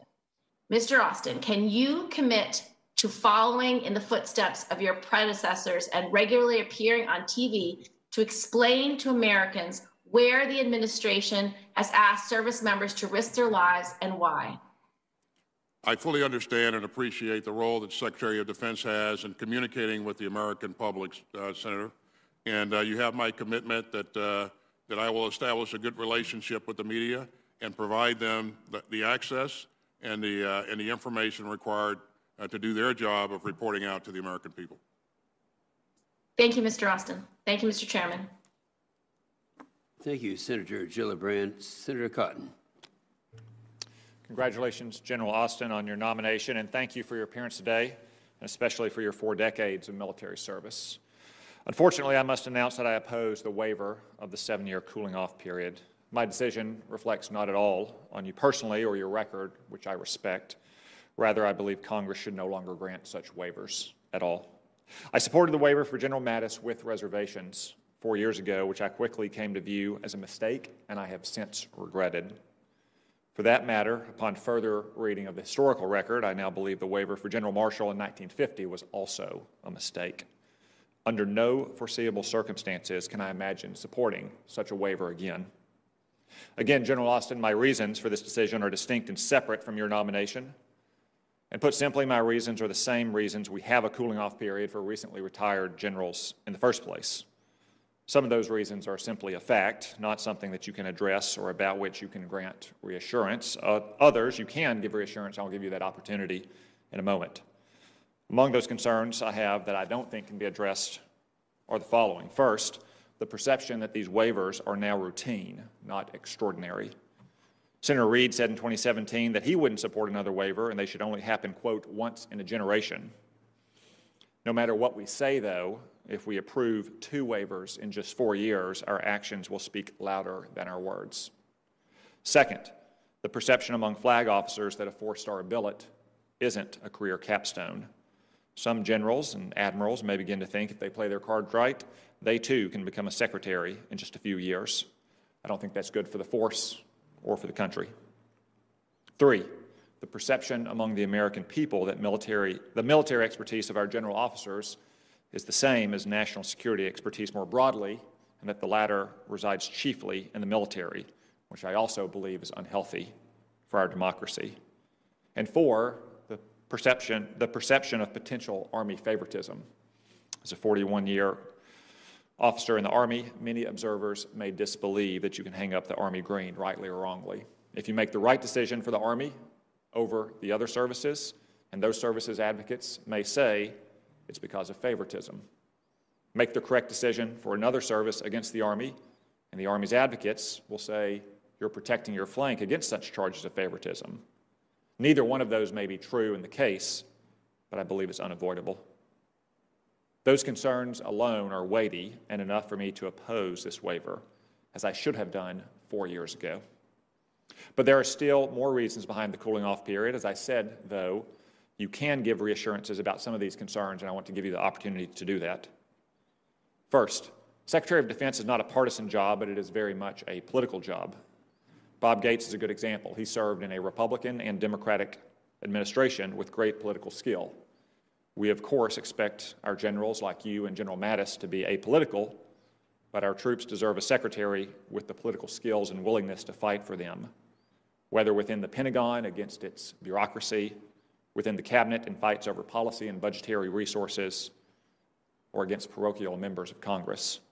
So, General Austin, what can you say to address this concern? If, for instance, John Kerry wants to sacrifice our force posture on China's periphery in return for ephemeral promises from China to reduce emissions in 2070, or if Jennifer Granholm wants to rob the nuclear security budget to fund pie in the sky green energy programs, or simply if the Office of Management and Budget wants to cut the military's budget? How would you manage such inherently political disputes?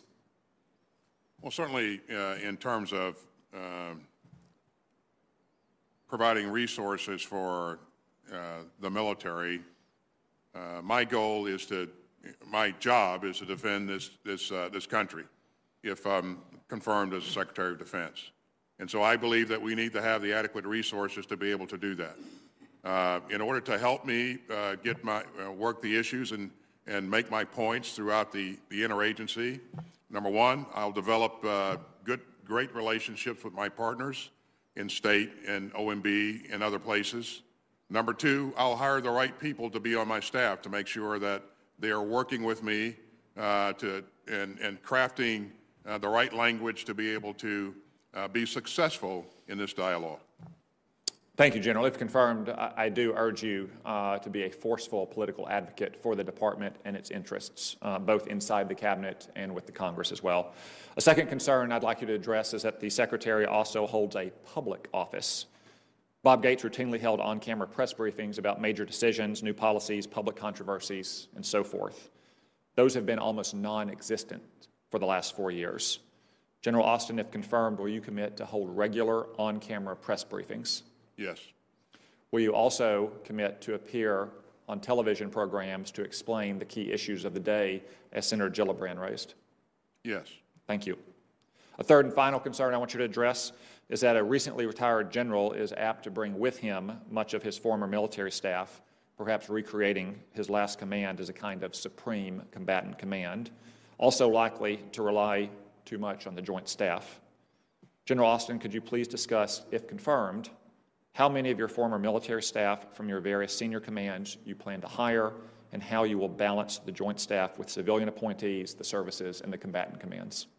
The, the key billets for, uh, for my staff, uh, all of those positions are being, uh, we're looking at filling all of those positions, if I'm confirmed, with experienced uh, senior civilians uh, that, that uh, again, I'll empower to, to be able to get their job done. Thank you. Again, General Austin, my concerns about these waivers don't bear at all on your nomination or your record of service to our nation, for which I have the highest regard. I, I thank you again for answering the call of duty to your country. Thank you, Senator Cotton. Senator Blumenthal.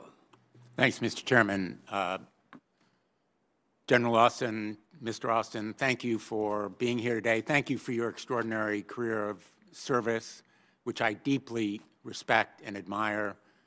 My opposition to the waiver is not personal, it's a matter of principle. And I want to move on to the merits of the policy issues that will confront you if confirmed. In my view, you have expressed clearly and cogently your commitment to strengthening civilian control over the military, which you would implement if confirmed. Uh, first, uh, I have been deeply alarmed, as have been many of my colleagues, by the rise of white supremacist and extremist ideology in the military. You and I have discussed it. The latest signs are, in fact, that two National Guard members have been removed from their duties regarding the inaugural because of their potential links to extremist sentiments or organizations. Uh, I, last week, I led 13 of my colleagues in a letter to the Department of Defense Inspector General asking for an immediate and intensive investigation of the prevalence of white supremacy and extremist ideology. I'm asking for your commitment that you will cooperate with and support that investigation. Shortly after our letter, the Department of Defense indicated it was going to do an evaluation of this issue, but I want an intensive investigation and action to counter it, and I look forward, hopefully, to working with you in countering and combating this very important threat. I, I certainly look forward to working with you on, on this, uh, Senator. I, uh, I think this is critical. Uh, I, I would share a story with you that uh, from my past, where when I was a lieutenant colonel working in probably uh, the finest, one of the finest organizations in the Army, the 82nd Airborne Division. What, we woke up one day and discovered that we had extremist uh, elements in our ranks, and and they did bad things that uh, that we held certainly held them accountable for. But we discovered that the signs for the, that activity were there all along. We just didn't know what to look for or what to pay attention to, but we learned from that.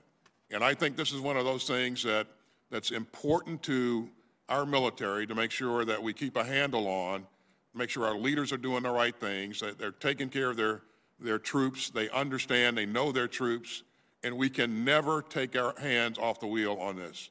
This has no place in the military of the United States of America.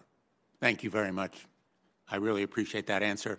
Uh, you mentioned in your testimony the importance of the Chinese threat, the need to focus on it, but the most recent attack on our country was by Russia, which for months literally intruded, interfered, and attacked our nation in cyberspace, in part because, as General Nakasone testified to us, our adversaries do not fear us. That's exactly what he said in the cyber domain.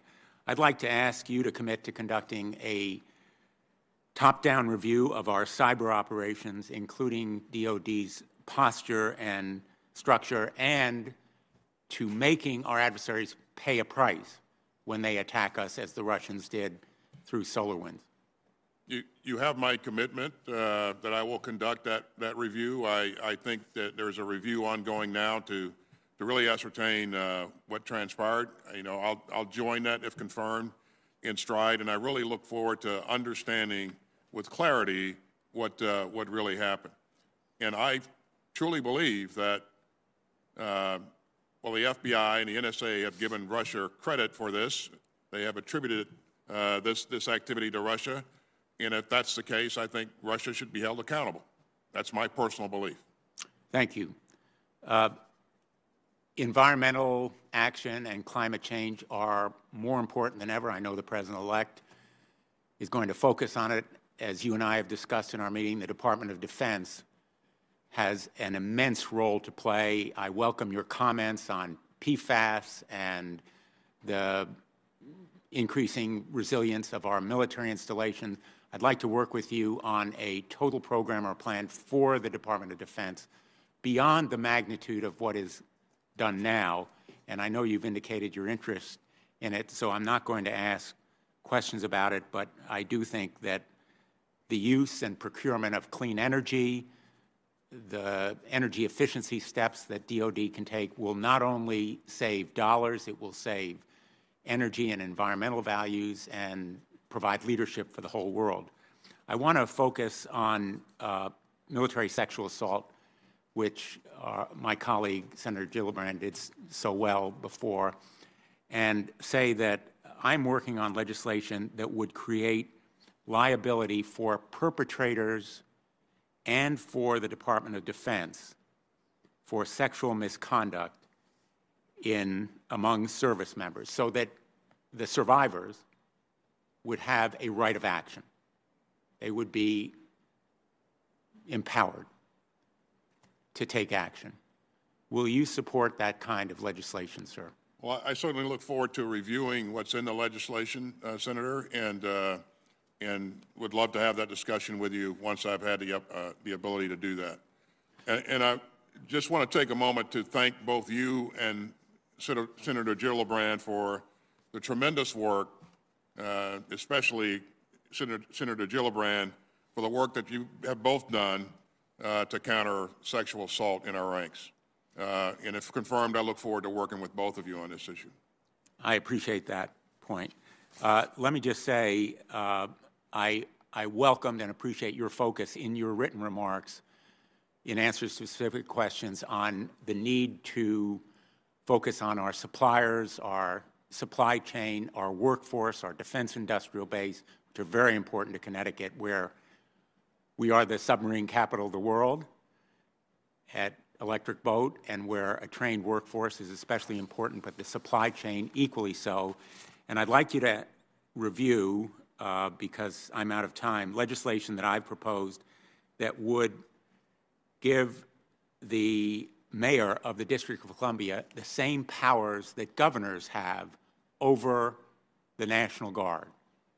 Because a lot of the very unfortunate lack of planning and coordination between federal and local agencies that has been on display over recent months, in my view, is attributable to the lack of that power on the part of, in effect, the locally empowered official here. Thank you. Thank you, Senator Blumenthal. Senator Ernst. Thank you, Mr. Chair, and thank you so much, General, for being here today. We certainly appreciate your commitment and your service um, to our great nation, and thank you for stepping forward with this um, nomination. I just want to briefly um, touch upon the issue of sexual harassment, sexual assault, as Senator Gillibrand and uh, and Senator Blumenthal just did. We had a conversation about this last week. Thank you very much for that. Um, but part of that Fort Hood report that came forward stated that the military readiness requirement superseded the need to protect our service members. Um, what are your feelings as to that statement? And then how do we move forward and correct that? Senator, I, I earnestly, I, I honestly don't believe that these two issues are mutually exclusive. We absolutely have to take care of the men and women that are in our ranks. You know, a failure to do so, I mean, we are about people in the military. We have the greatest, best equipment in the world, and, and, and, and I get that, but this is about people. Uh, you know, we, if we don't take care of our people, it's really, really tough to do the job at hand, and that's to defend this country. And, and so I, I do not see these two issues as being uh, at odds with each other. I think we have to do both, and we have to do them both well. I truly appreciate that. I fully agree. Um, our military readiness does not have to suffer because of sexual harassment. We can take care of that issue and also still um, be the best fighting force in the world. So uh, I appreciate your stance there. Um, I today had such a great honor. Um, I retired from the Iowa Army National Guard in 2015, and we have a number of those tremendous men and women serving right outside our doors today. And it was my honor to go out in front of the Capitol and reenlist about 15 of our Iowa Army National Guardsmen. Um, great honor for me. Uh, but uh, the importance of our National Guard has really been on display the last um, year or so as we have seen numerous troops deployed in support of fighting forest fires in California for deployments and mobilizations supporting COVID um, 19 activities, whether it's food distribution to food banks, making sure that vaccines were distributed to our communities. We have seen tens of thousands of our soldiers and airmen mobilized. Um, they were there, they responded, and they did it quite quickly. Uh, and I'll emphasize that point again that the National Guard, they, they mobilized and they were there quickly, um, even beyond the capacity of their active counterparts. Um, so, whether it was working for FEMA, helping those local health clinics, um, you know, distributing food, as I said, our National Guard members stepped up. And again, today, we, we witnessed them out on our Capitol Mall um, keeping our nation safe so that we here in Congress can do our, our duties. So, no matter what happens, whether it's response to riots or violence or other types of activities, they are mobilizing for us. And so, what we have learned over the last year is that uh, they do come to us quickly in response to these domestic missions. Um, now, what further changes or reforms could be made to make sure that our National Guard are treated equally um, because of their important role for our United States, but treated equally with their active duty counterparts when it comes to training, when it comes to equipment, when it comes to readiness. Um, what can we do to make sure that they are on par with their active duty uh, counterparts? Well, there, there are, as you know, being a, having been a Guard member for uh, quite some time. Uh, there are some challenges in terms of the amount of days that you have uh, to actually conduct that training.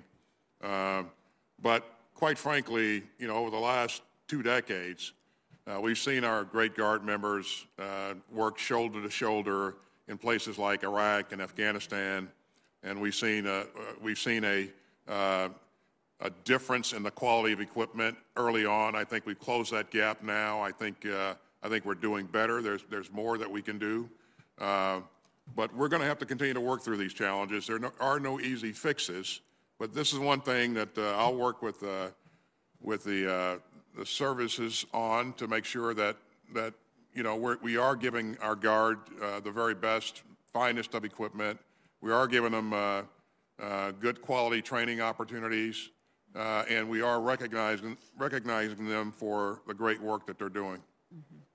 No, I um, thank you for that answer. Um, they mean a lot to us in defense of our country, and certainly short, uh, short notice mobilizations, especially as we see right here in Washington D.C um, today. So, uh, last issue, because I know that we are running short on time.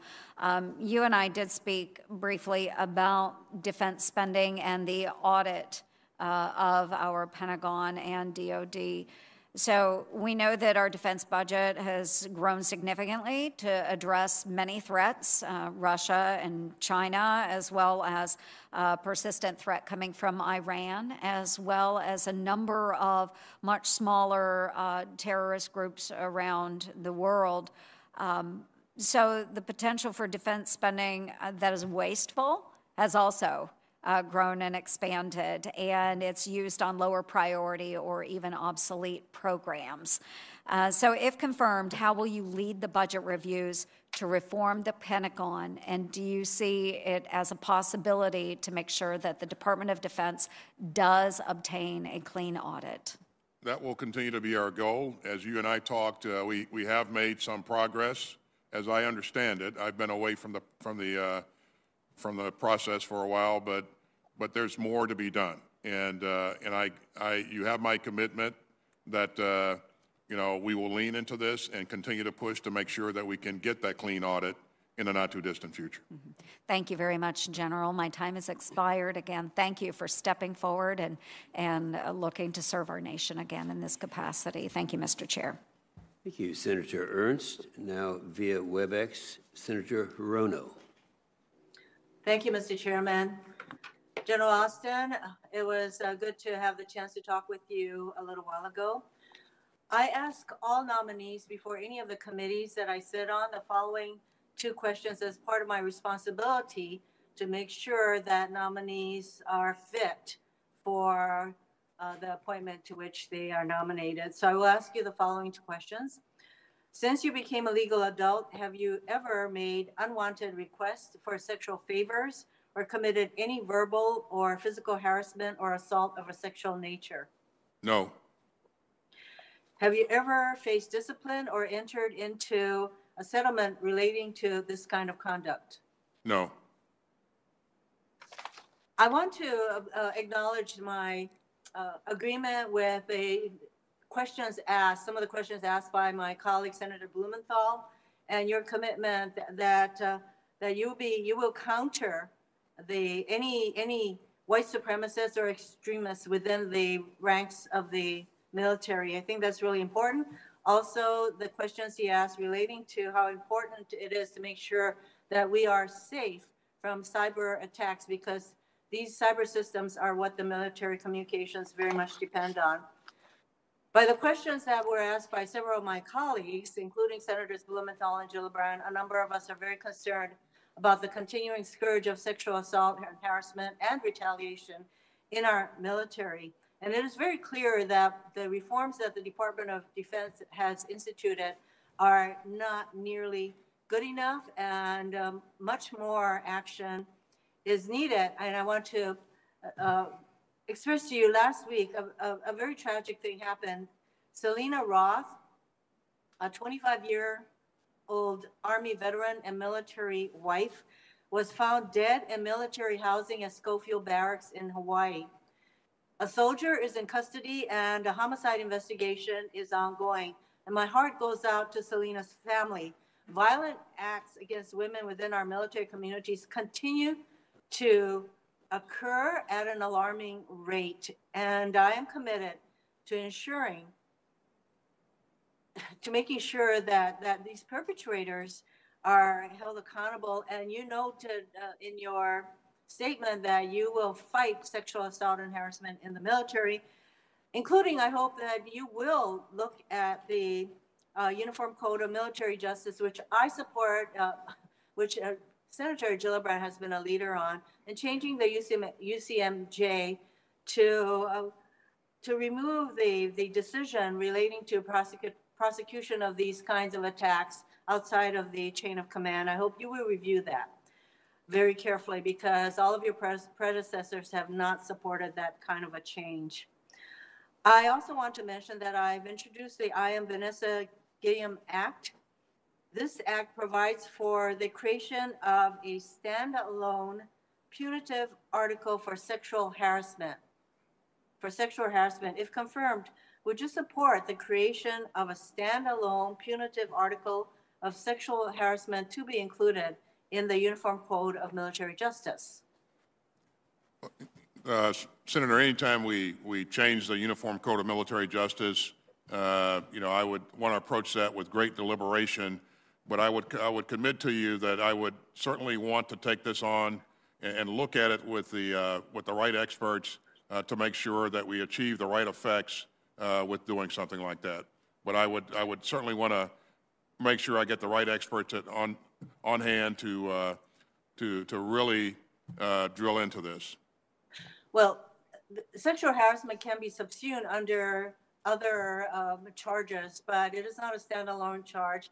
I think it is very important considering that sexual harassment occurs at an alarming rate in the military. So um, th- this is not any, I would hope that this is not something that requires a great deal of, uh, of thinking because as I said, you can already charge someone uh, under other articles for sexual harassment.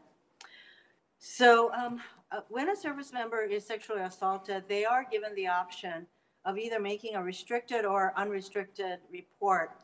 And the I Am Vanessa Guillén Act would allow victims of sexual harassment to also make restricted reports, allowing them to remain anonymous within their chain of command while still receiving the support services that uh, they should have. Would you support the, the creation of a mechanism for victims of sexual harassment to be able to make a restricted report? I, I, I don't think I heard, I heard the, the, uh, the end of the question there, Senator. Would you mind re- repeating the, the, uh, the, the last piece of that? Yes, would you, would you allow victims of sexual harassment to have the same options that victims of sexual assault have in making a restricted re- report? Yes. Thank you. I want to turn to the, the importance of training areas for the Indo-Pacific Area of Responsibility. Admiral Davidson, who is the commander of Indo-PACOM, talked recently about the importance of joint integrated training in th- this uh, AOR. Admiral Davidson specifically mentioned the vital importance of both the Pacific Military Range Facility, or PMRF, on Kauai, and the Army training areas, including Pohakuloa Training Range on the Big Island. With Navy, Air Force, and Army leases all up for renewal in 2029, which is really uh, right around the corner, it is incumbent on DoD to engage with state authorities and the local stakeho- stakeholders, like the Native Hawaiian community, uh, early, often, and openly. Having a clear and transparent process is uh, very critical to the renewal of these leases, which, which needless to say is critical for the military's uh, presence in Hawaii. What are your thoughts on the value of realistic joint training with our coalition partners in the region and elsewhere? Well, certainly the, the, the value I, uh, of conducting joint training with our coalition partners, I mean, I, it, it's, it's invaluable. It's, uh, we always work better as a team.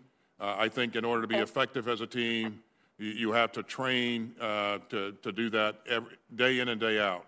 A- And so. So training is, uh, I'm sorry, I'm running out of time. I just want to make sure that I have your commitment that you will uh, have a, an open dialogue with the community with regard to these really important training facilities in the state of Hawaii. Yes. Thank you. Thank you, Senator I do have uh, some other questions, but I believe I'm out of time. I'll submit them for the record.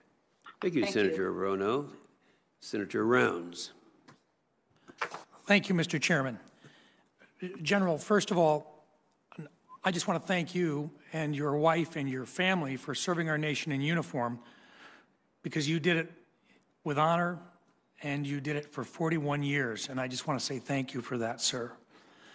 Um, General, you and I have had the opportunity to speak now on several different occasions, and, I, I've appreciated uh, your, your answers to my questions with regard to the waiver. Uh, I truly do believe that the waiver was there for a reason, but I also think that the president-elect does have, um, uh, I think the tie goes to the president. And in this particular case, I believe that he has nominated you because he believes that you are the right person at the right time. I have no misgivings whatsoever about your capabilities and your competencies. And, and I think in this particular case, uh, it is my intent to support the waiver uh, so that you can uh, uh, have your, your, the presentation of you before the Senate for, for, con- or for confirmation. I think part of the, the reason that I feel this way is because of the conversations that you and I had. And I, and I want to go through them a little bit because, first of all, with regard to the difference between being the Secretary of Defense and being a member of the Joint Chiefs, uh, there's a true difference between the two's, the, the role of the two. Can you share a little bit your understanding of the differences in the role and yet at the same time, the real need for both to be expressed and your plans with regard to bringing in, uh, as you indicated in your opening remarks, uh, additional qualified civilians into those, those, those, uh, those top uh, areas? Yeah, so I, I think the, the, uh, the chairman of the Joint Chiefs is um, required to give his best military advice uh, to the president and to the secretary uh, routinely. Um, and it's military advice. Uh, the secretary has a much broader scope. He, uh, he has a lot, a lot more to take into consideration. He is focused on uh, strategy and policy, and, uh, and he understands, he is working within the guidelines uh, provided by his boss, the President of the United States. Uh, so it, there is an enormous difference. Uh, and I, I think, um, you know, one of the key enablers here, as I've said before, is to make sure that, you know, we have the right experts, the right professionals uh, on board working with me day in and day out to craft that strategy and develop that policy. but the Secretary has a much broader scope, and, and he is not focused on giving the same type of advice that the chairman uh, would, would provide. Uh, I've seen this done right uh, a number of times. all the secretaries, of course, get it right. But the two that come to mind more than anyone else for me, when I was a, a three-star serving as a director of the, of the Joint Staff, Secretary Bob Gates was, uh, was the Secretary of Defense, an absolute master at making sure that he outlined roles and responsibilities and, and, and, and and swim lanes, designated swim lanes for the Joint Staff and, uh, and the OSD staff. Uh, later, uh, you know, I served on a, in the Pentagon as a four-star, as a Vice Chief of Staff of the Army, and I had a chance to work with uh, Secretary Panetta, who once again was a master at making sure that those roles remained separate and that, uh, and that he provided the right kind of advice to the President of the United States. And uh, while he worked arm in arm with the, with the, uh, the chairman of the Joint Chiefs, uh, they did not provide the same kind of perspective.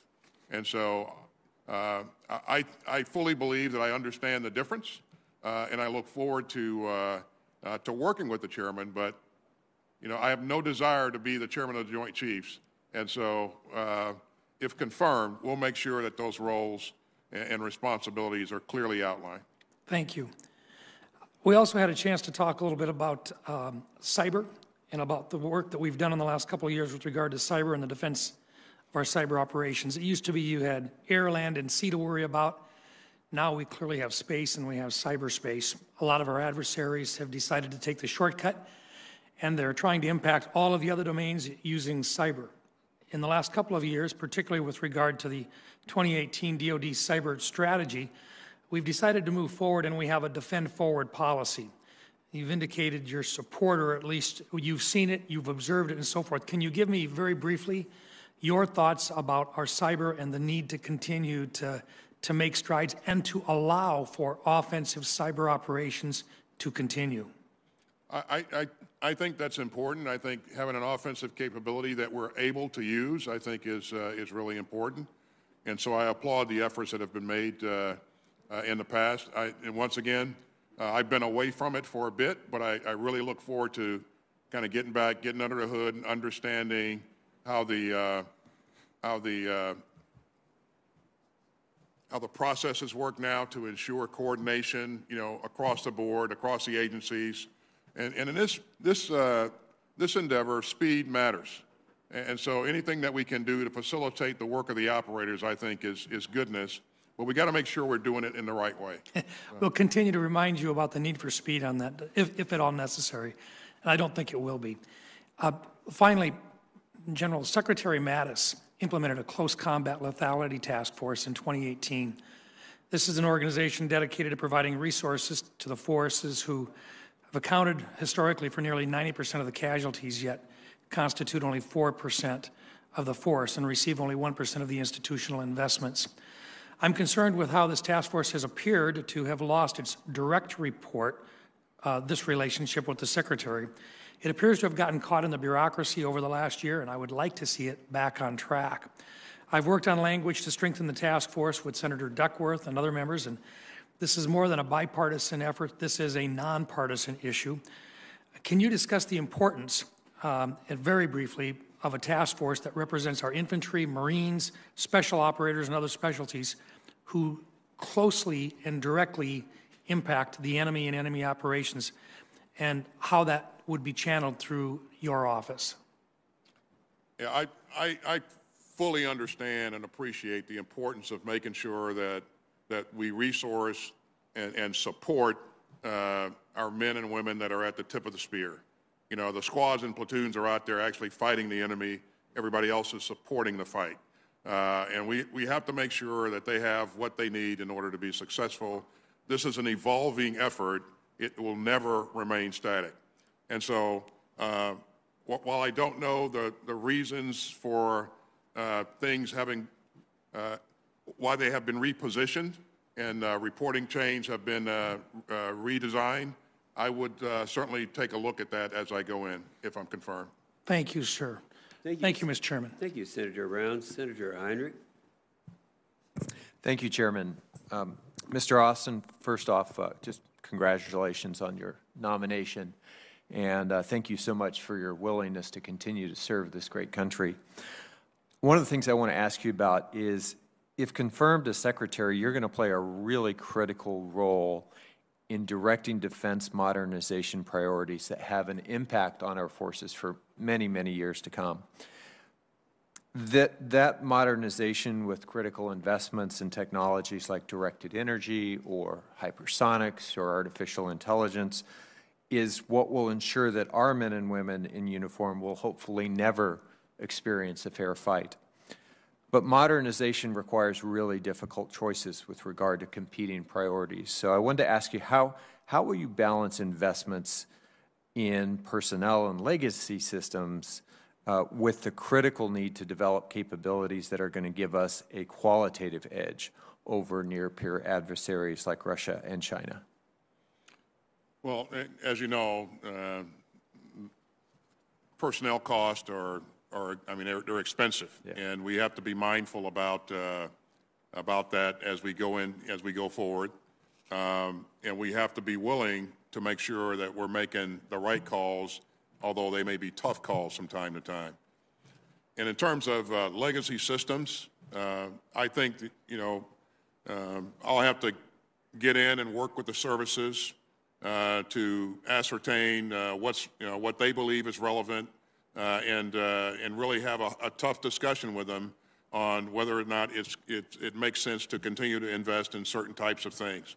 But I agree with you. I think we absolutely have to invest in, in the capabilities that will make us relevant, not in the last fight, but in the future fight. We have to be able to understand, uh, we have to be uh, better, faster, we have to be able to decide faster, and we, we, we have to be able to act faster.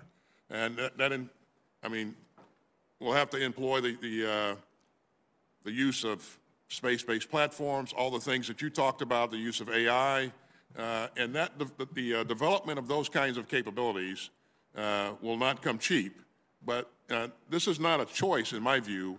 These are things that we must invest in going forward if we're going to maintain a competitive edge. Great. Thank you for your thoughts on that. Um, Mr. Austin, last week in the final days of the current administration, the Air Force announced that it had selected uh, Huntsville, Alabama to host the new Space Command headquarters. And I, I believe this process frankly, was severely flawed and, and was not in line with what I have seen historically with regard to a more deliberative approach that the Air Force has typically taken with regard to basing decisions of this mag magnitude. I know you're not familiar with this decision uh, in its details, but I would simply ask that if confirmed that you would take a close look at that process to make sure that it, that it met the, um, uh, the historical standards for decisions of that type. I'll do that, and I'll make sure that we look at all of our processes going forward so that future decisions uh, are made within the confines of the policies that have been laid out. Thank you. I, I appreciate that very much. Um, as you know, DOD has set an initial requirement uh, to produce 30 plutonium pits per year at Los Alamos Labs by 2026. I'd love your views on how important that milestone is to maintaining our, our nuclear deterrent. Could you uh, repeat your question, Senator? The, the Department of Defense has set an initial requirement uh, to produce 30 plutonium pits per year at Los Alamos National Labs uh, by 2026. And I would love your, your thoughts on the importance of, of achieving that milestone on that timeline. As we've said earlier in, this, in our discussions here uh, this afternoon, Senator, you know, uh, maintaining a, a credible, reliable, safe, and sustainable uh, nuclear uh, capability is of utmost importance, of the highest importance. And so this is a component of that, and certainly uh, if we've laid out those goals and objectives for ourselves, I'm very much interested in making sure that they are the appropriate goals, but, and I have no reason to doubt that they are, but making sure that we are we, we remain on time and on target with achieving those goals. I, I look forward to working with you on that front. Um, one of the last things I want to get to here in my final couple minutes is uh, PFAS cleanup and remediation. Uh, uh, many communities across the country continue to suffer from enormous impacts uh, on their water supplies from PFAS chemicals, in, in, particular in, in drinking water, in groundwater that's used for both drinking and in some cases agricultural use. Uh, one of the most hard hit of these communities is around Cannon Air Force Base in New Mexico uh, a community that's been incredibly supportive of that facility for decades. Uh, the Air Force and the Department of Defense more broadly have frankly slow walked the cleanup and the remediation efforts uh, for a number of years now, despite really clear evidence that, that defense activities are the source of that contamination. And if confirmed, I would ask that you make full PFAS remediation a priority within the department and ensure that the Department of Defense takes concrete steps to finally do right by these communities that have done right by the department for, for literally decades. The, the, the safety and the health of our military members, our family members, our, our DOD civilians, and our communities is very, very important to us in, in DOD. Um, I think you know that Secretary Esper uh, stood up a PFAS task force a while back, and that, that their work is ongoing. Uh, and if I'm confirmed, I'll, I'll go in and ask that they pick up the pace on the work, uh, and, uh, and we want to push to make sure that, that we have uh, good solutions for mitigation of, uh, of our contribution to, to this this contamination. And PFAS has been used uh, throughout the economy, so I think we're going to have to work across the, you know, across the board with our partners to ensure that, you know, we're working together, we're doing the right things to mitigate uh, the effects here. So I look forward to working with uh, my colleague, my colleague there in the, in the EPA to make sure that, uh, you know, the military is doing its part and we stay focused on the right things here. Thank you, sir. Thank you, Senator Heinrich, Senator Tillis, and uh, Senator Rounds presiding. Thank you, Mr. Chairman. General Austin, can you hear me okay? I, I can. Uh, congratulations to you and, and to your wife and your family, and thank you for your decades of service. I, um, I'd like to start by, uh, well, also I want to thank you for spending some quality time down at Fort Bragg at the tip of the spear with the 82nd Airborne. Um, I want to associate myself with comments made by Senators Gillibrand, Ernst, and Blumenthal on military sexual assault. I don't expect you to respond to it. I, I heard your your responses earlier, but to uh, to me, we'll never know what great leaders chose never to go into the military if we continue to have a reputation for a culture that's not making progress on military sexual assault. I've heard you make commitments to my uh, colleagues, and I look forward to exploring this issue as a ranking member on the personnel subcommittee. But we've got a lot of work to do. I've been here for six years, and we're not making near enough progress. Um, I'd like to start though by asking you to give me an idea of the general, a general overview of the threat that you believe that Iran uh, represents to uh, national security and security in the Middle East. I'd also be curious in, in your answer what you think about the recent agreements with Middle East countries and Israel, whether or not that's a positive step in the right direction. Iran continues to be a destabilizing element in the region. Uh, you, you, look at its behavior, uh, it, uh, it clearly, uh, every, uh, a lot of activity that's, that's destabilizing. It doesn't work well with its, uh, with its neighbors. it, again, does present a threat to, to our partners in the region and those forces that we have stationed in the region. Uh, if Iran were ever to, to get a nuclear capability, uh, most every problem that we deal with in the region would be uh, tougher to deal with because of that.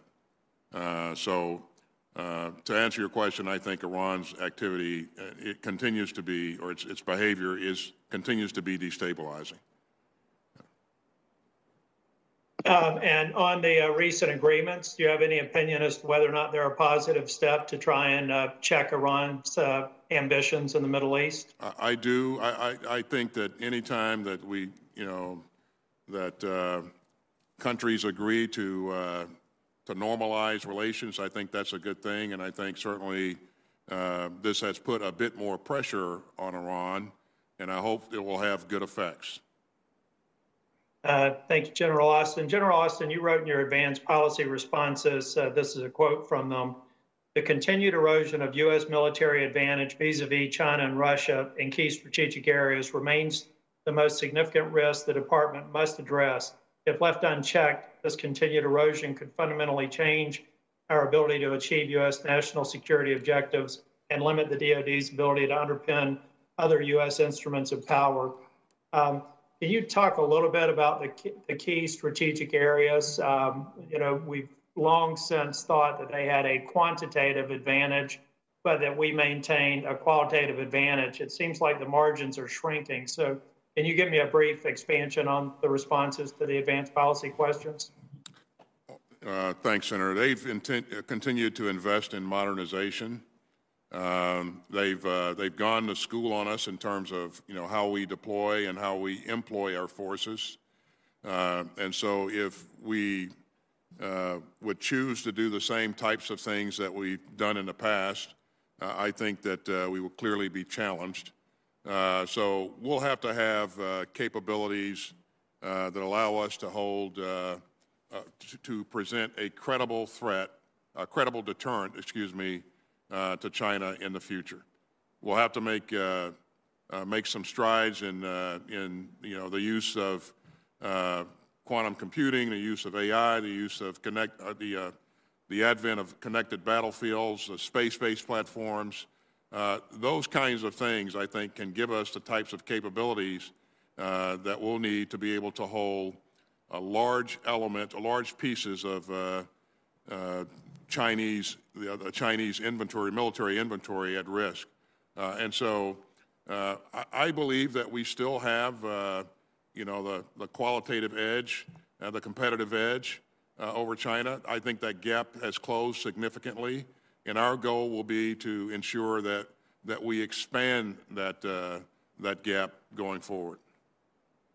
Uh, thank you. Uh, because I have limited time, I'm going to submit a question to the record on, I think, the economic warfare that we're dealing with on China, uh, the race to 5G, and some of the interagency um, activities that I don't think the DOD is prominently up there. We've got UST, USTR, Commerce Department, but I feel like that we're losing some ground. I have a unique perspective on that, looking at all the intellectual property theft as the uh, chair of the intellectual property subcommittee on judiciary. But I've got a lot of uh, context I want to add to that, so I won't ask the question there. So in my remaining time, I would, if I were in person, I would have my 600 page request for proposal for the next generation handgun uh, with me. It's my favorite prop when I go, uh, when we have a confirmation like this.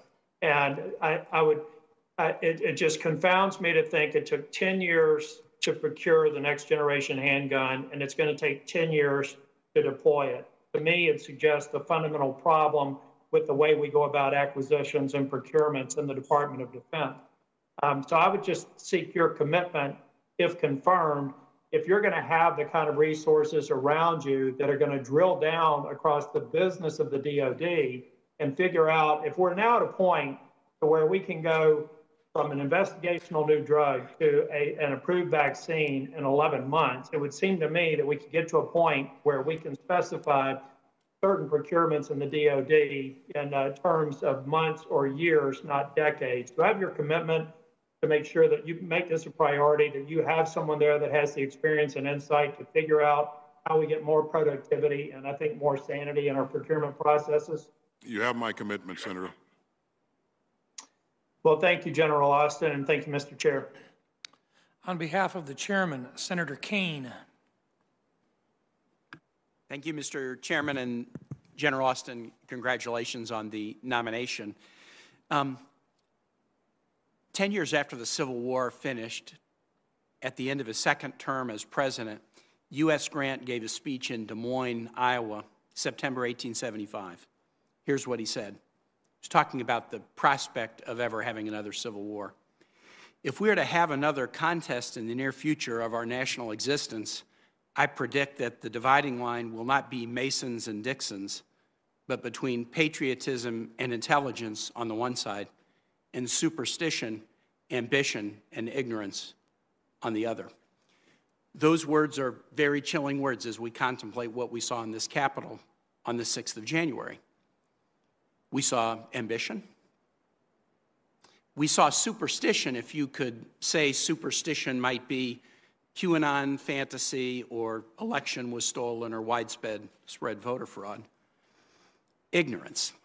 I don't know that I'd use that word.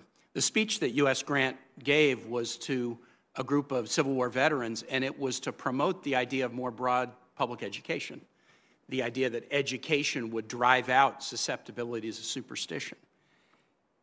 It might be comforting for us to think that what we saw on January 6th or generally was ignorance, but if you look at the spectrum of people who were involved, you find a number of very highly educated people. Um, sadly, and I know this has been raised already, you find a lot of people who have connection to our military, um, who should be, as part of the enormous training investment we make in them, be able to spot the difference between truth and fantasy, between reality and conspiracy theory.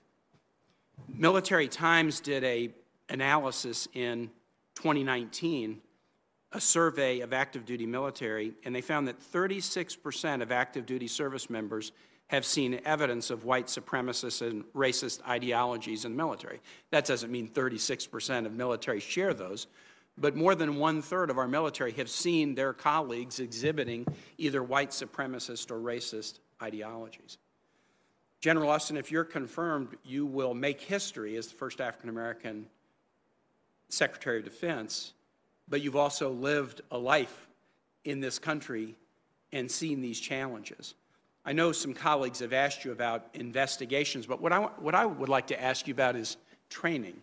We invest so much to train a member of our military, officer, enlisted.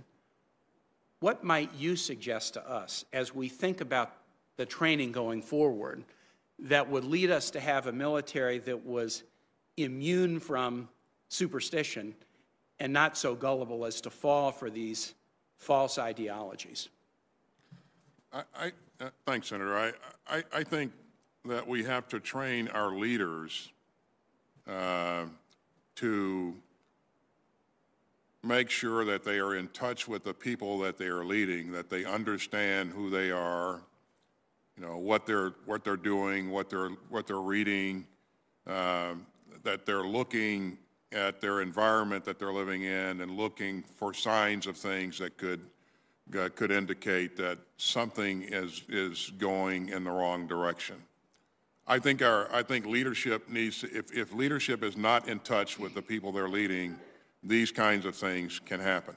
And I don't think that uh, that this is a thing that uh, that you can put a band-aid on and fix and leave alone. I think that training needs to go on, you know, routinely uh, because things change.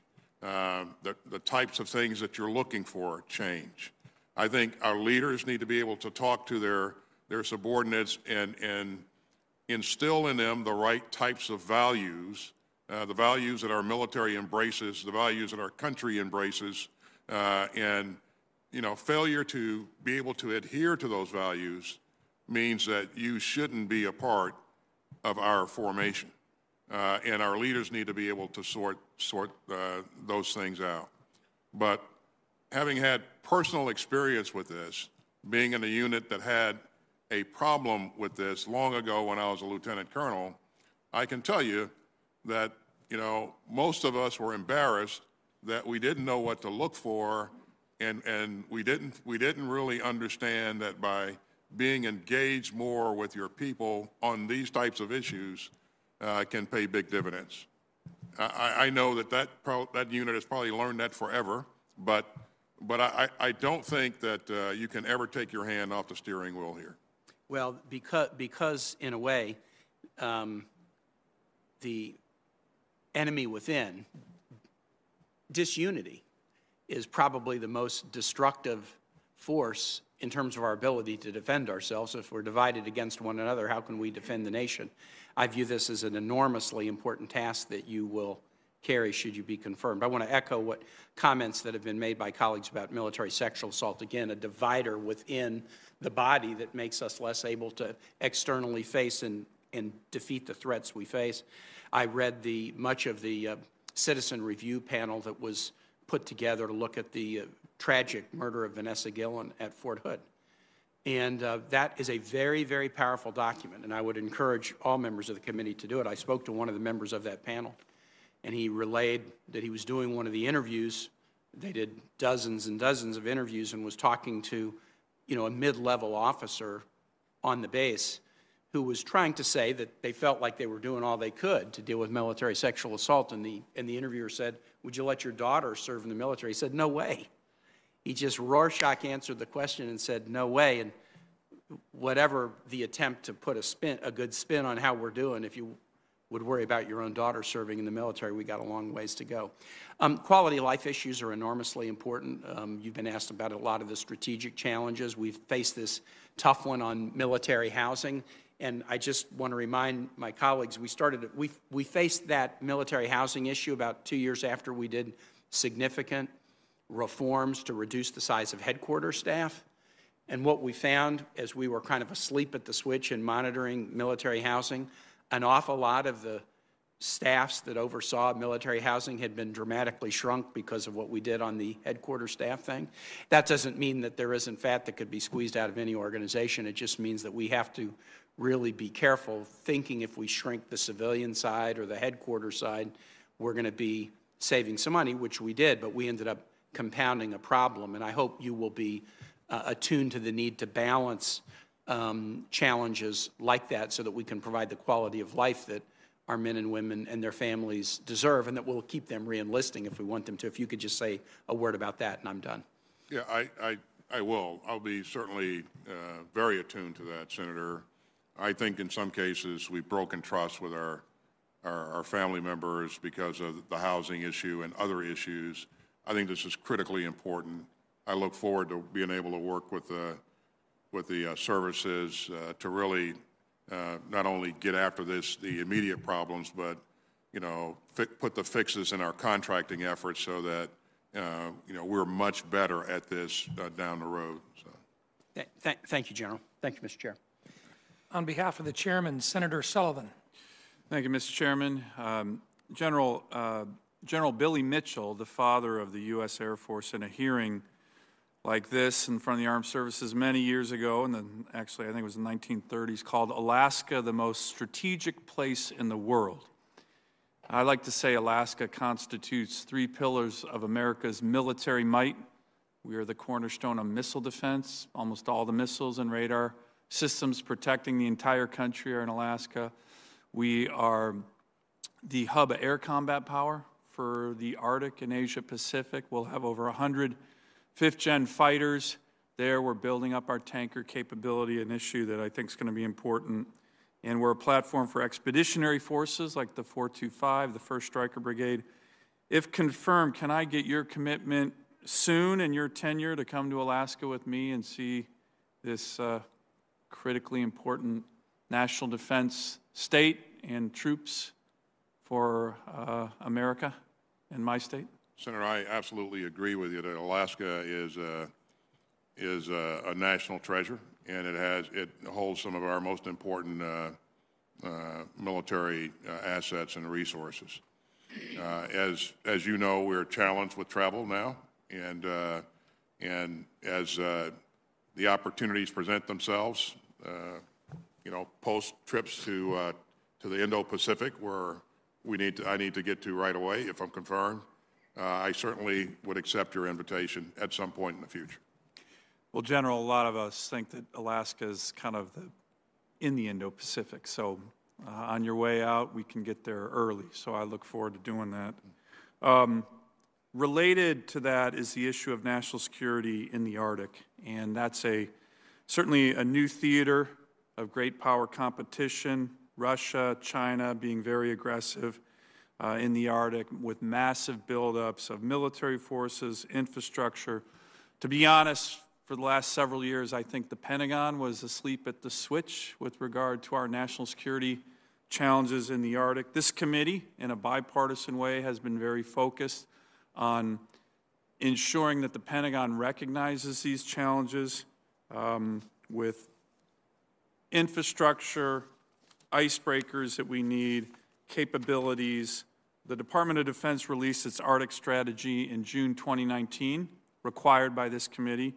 Uh, the Air Force followed suit with its own strategy in July of 2020. The Department of the Navy just this week published its Arctic strategic blueprint, and the Army will soon be doing this as well. Can I get your commitment to work with this committee, where this has been a high priority, to ensure that these service Arctic strategies are appropriately resourced and that we can protect our strategic interest in the Arctic?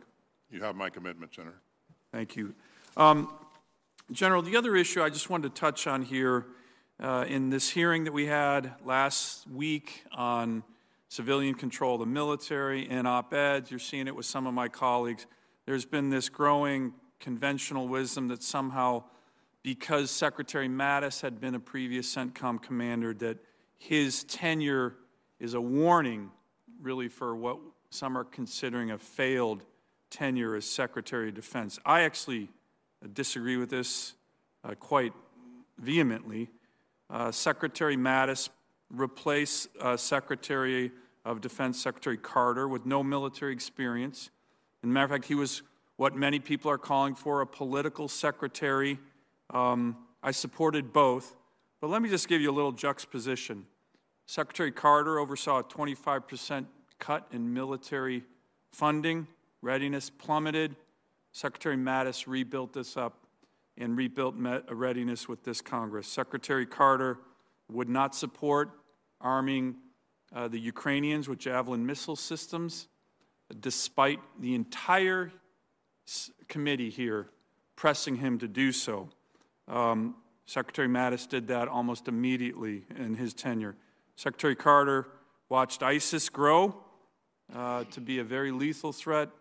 Secretary Mattis brought DoD strategy to crush ISIS. Secretary Carter, for a whole host of reasons, was very reluctant to press for any freedom of navigation operations in the South China Sea. Uh, Secretary Mattis made those regular elements of our strategy in the Asia Pacific. And finally, Secretary Mattis put together the National Defense Strategy, one of the most important and bipartisan documents uh, that many have seen on national security in a generation. Uh, he often got back to senators quickly uh, in terms of oversight. With all due respect to Secretary Carter, sometime it took weeks just to schedule a phone call or a meeting.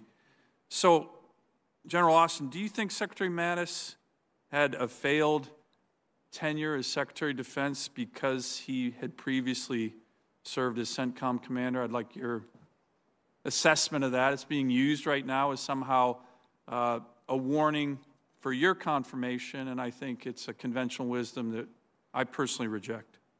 I, I do not think he, he should be considered as a failed Secretary of Defense because of his, his work in CENTCOM earlier. I think, uh, you know, Secretary Mattis was a very thoughtful uh, uh, secretary, and uh, he did a lot of goodness for the department. And, you know, certainly I would not want to evaluate his role, his, uh, his tenure as secretary. I have great respect for him. As you know, I've served alongside him. I've worked with him on a number of tough issues and I watched from afar as he was secretary. So I have no reason to believe that his, his role at, or his tenure at CENTCOM made his, uh, his tenure at, at, or diminished his role as, uh, as a Secretary of Defense. And that wouldn't be a lesson or reflection on what you will be able to accomplish uh, in the department as well. People are using that uh, as a, a warning, so to speak. Uh, and I think it's, it, I, I do not think that that's a, that's a fair uh, assessment. And I would say also, uh, Senator, that we are completely different people, as Yeah. you know. You know us both. Uh, and, uh, and again, uh, I will absolutely do the things that, uh, that we've talked about in this hearing, you know, get the the right civilians in the right positions to, uh, to help me uh, exercise uh, civilian control of the military. Uh, and I'll make sure that we have the very best experts focused on our toughest issues, like, uh, you know, the China issue, uh, the, uh, uh, the issue of uh, our acquisition reform, uh, and, and those kinds of things.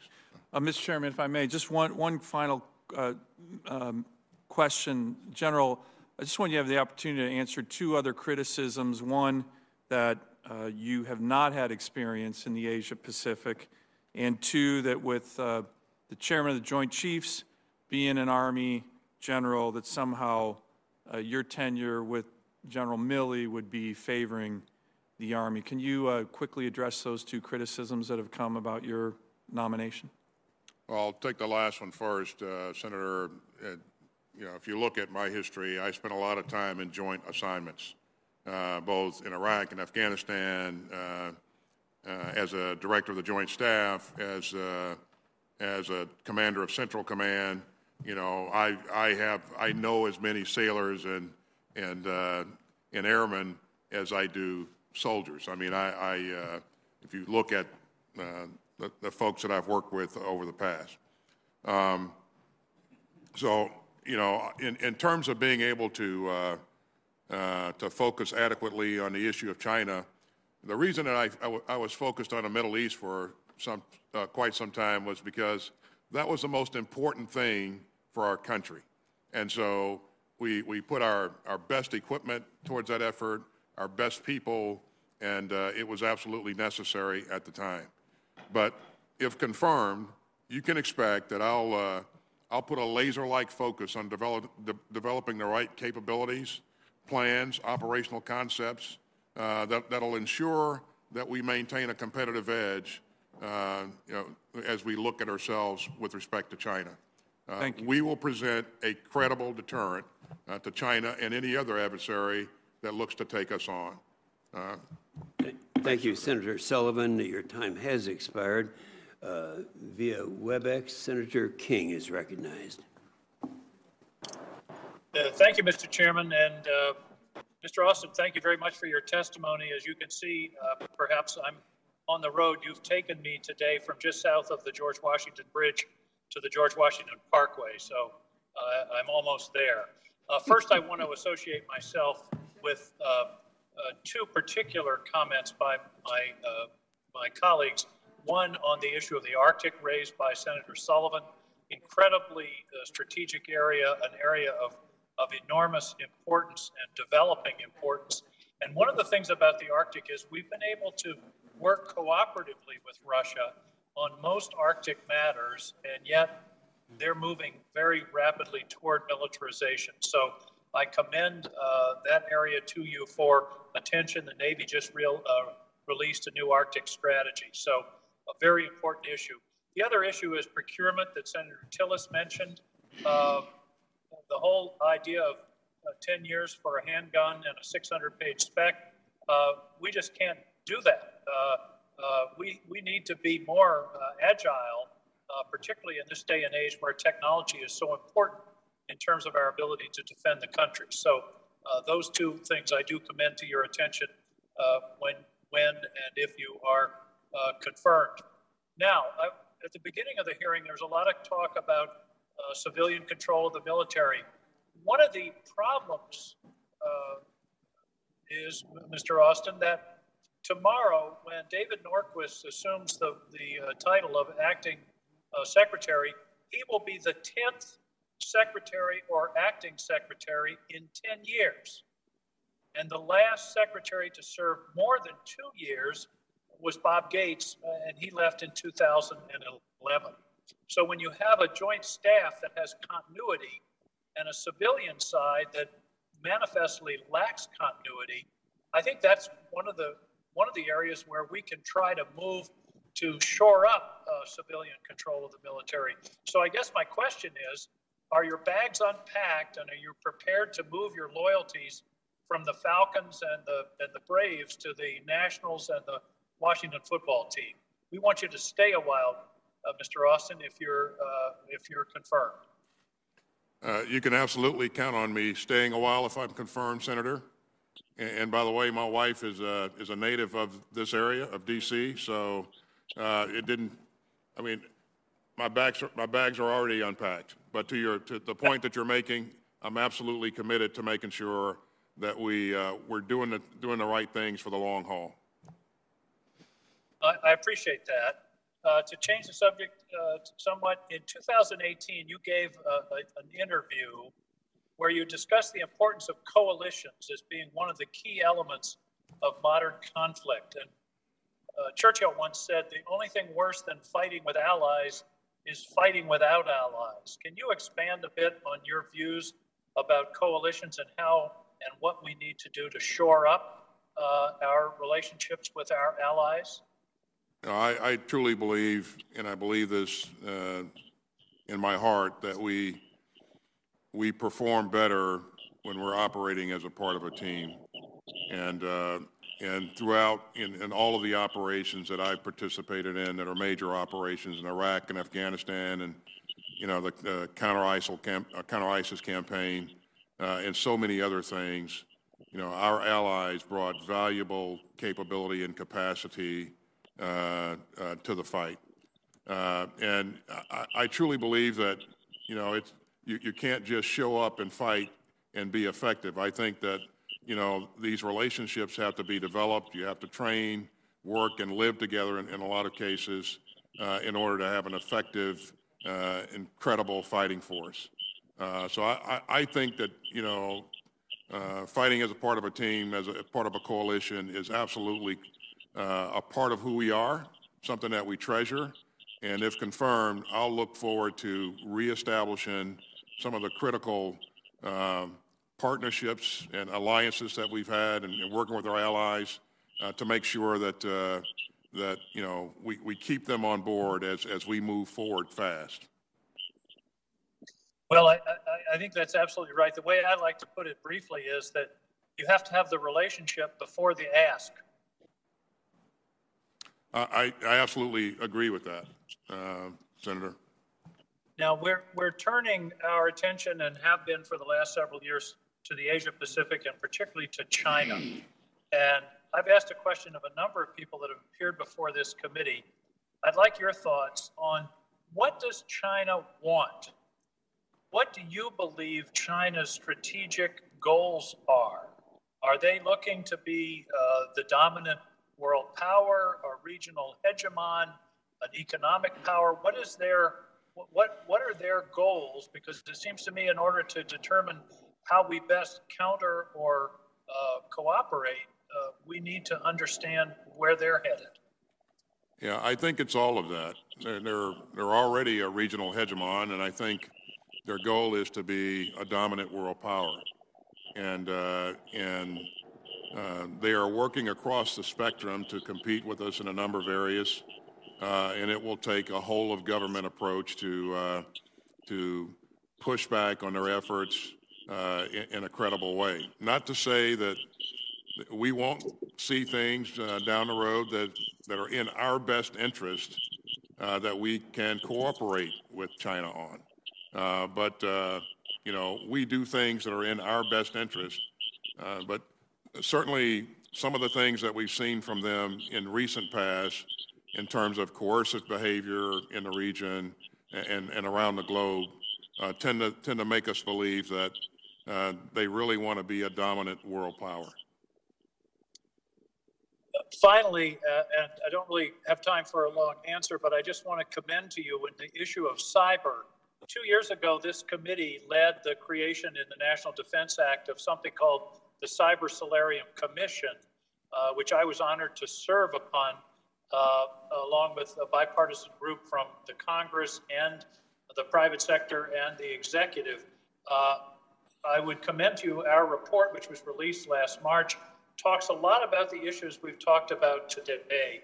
As you know, and as Senator Rounds mentioned, the, the area of cyber is not a potential area of conflict, it is a current area of conflict. And uh, I will be sure that uh, we get a copy of the report to you and you can take a look at it because part of it is structure, but also part of it is policy, deterrence, uh, resilience. And uh, I think that this is something that uh, obviously we need to uh, attend to. You have General Nakasone, who is crucial in this effort, uh, and uh, I look forward to working with you on those issues as well.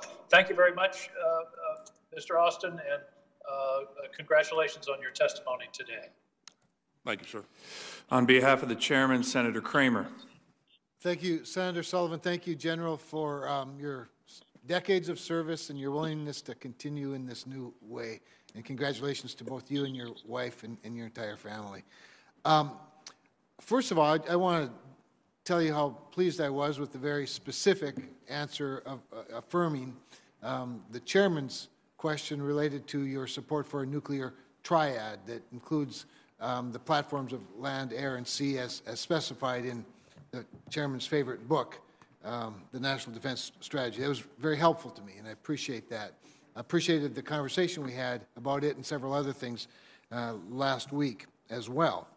With that specific answer to that specific question in mind, I want to drill down a little bit on just one of those three legs. As you know, as we, talked about, um, Minot has two of the three legs. It's the only place in the country that has two of the three legs of the triad. Um, you were asked, of course, you did in, in the uh, qualified questions, the previous questions, um, you were asked about the assessment of, of past secretaries of defense. And you, you said this, you said, I agree that nuclear deterrence is the department's highest priority mission and that updating and overhauling our nation's nuclear forces is a critical national security priority. Um, today you specified the words um, triad. In your advanced policy question response, though, you did, in referencing the aging nuclear deterrent, you chose the words overhaul and updating, but you never used the word replace. And I don't know if that was simply a, an error or an omission or if it was strategic. But you did say U.S. nuclear weapons have been extended far beyond their original service lives. And as uh, Senator Fischer earlier, she quoted um, Admiral Admiral Richard uh, of uh, Stratcom, I'm going to quote him now in a different quote where he said, You cannot life extend Minuteman 3. It is getting past the point where it's not cost effective to life extend Minuteman 3, unquote. But you're going to get a lot of pressure from organizations, good folks, um, some members of Congress, maybe some on, on an Armed Services Committee, either here on the other side of the Capitol to delay the ground-based strategic deterrent um, the replacement of Minuteman III, and maybe even shrink it. Um, Do you think that we can extend the life of Minuteman III, even if the, the, uh, that means unilaterally decreasing our nuclear deterrent? Well, I, you know, I think I may have indicated to you before that, that in order to, to really answer this question, I, I really need to sit down with not only the STRATCOM commander, but also sit down and take a look at where we are in that modernization effort and, and what choices are being proposed and the rationale for, for them. Uh, and I have not had the ability to do that uh, to this point, Senator Cramer, but when I do, I, I would love to have that discussion with you. Well, I'd look forward to that. And On your way to uh, Indo-PACOM, um, before you get to Alaska, you could just stop in Minot, we'll have the talk right there if it works. But anyway, um, Senator Sullivan thinks the Arctic starts and ends in Alaska, and I just like to remind him every now and then, there's, there's other land between here and there. Anyway, um, I wanted to ask you about uh, the Joint Comprehensive Plan of Action, the, the Iran nuclear deal, and there have been some questions about Iran, but under the 2015 agreement, the restrictions on Iran's uranium enrichment sunset uh, beginning in 2025. And, and uh, that's obviously only four years from now. And so I want to know, in your view, are the risks of entering an agreement um, under the same conditions that would allow Iran to significantly increase its uranium enrichment only four years from now? I mean, uh, what, what would some of the risks of that be, do you think? Well, I, I would hope, and I think the president-elect has been clear that, uh, you know, the, the preconditions for us considering to reenter into that, uh, into, the, into that agreement would be that Iran uh, meet the conditions outlined in the agreement. So back to, uh, back to where they should have been. Um, I, I would hope that as we enter into that, that agreement, we could have uh, this discussion about, uh, about, you know, when things sunset, and also take a look at some broader things uh, that may or may not be a part of this treaty, but certainly uh, things that I think need to be addressed, and one of those things is ballistic, miss- ballistic missiles. Very good. Thank you. You anticipated, or at least you answered my, my next question. I appreciate that. Um, another area that you and I discussed quite a bit was uh, ISR. And of course, you'd know more than a little bit about that, given your, your background, particularly um, at CENTCOM, of course. There's been a lot of cutting of legacy programs recently to help pay for more advanced programs and technology uh, in the future. And, and uh, a lot of times there, we're confronted with either or um, challenges, but sometimes we have to do all the above as well. Um, a lot of these cuts are, have been, of course, to ISR programs like the RQ-4 Global Hawk uh, and the MQ-9 Reaper that, again, you've depended on a lot at CENTCOM. Do you think we can strategically afford to cut back ISR to places like the Middle East, um, Africa, South America even, and, and, to some degree even the Pacific, while we, you know, save up money for, for future missions? Well, I, I think our, you know, as we look at our global force posture, it's one of the things I, I really want to have the opportunity to, to do and look at our requirements versus where our forces are postured. Um, our focus is going to be, as we've talked earlier, in making sure that we have what we need in, in the Indo-Pacific.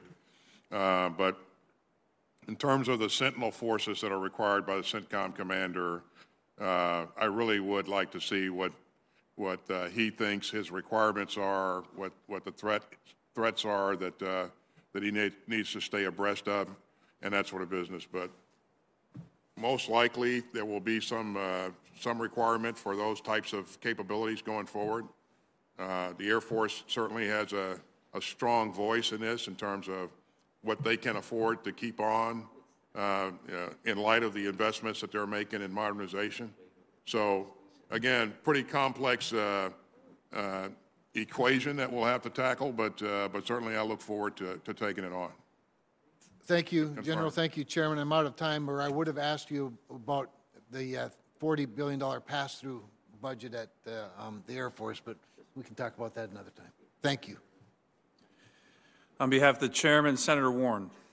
Uh, Thank you very much. Thank you. General Austin, I very much appreciated the opportunity to speak with you a few weeks ago, and as I told you when we talked then, I believe we have to do a lot more to end the cozy relationship between the Pentagon and the defense industry. And over the years, I proposed a number of legal changes in this area. Now, since 2016, you've served on the board of Raytheon Technologies and uh, its predecessor, United Technologies, which is one of the largest defense contractors in the nation.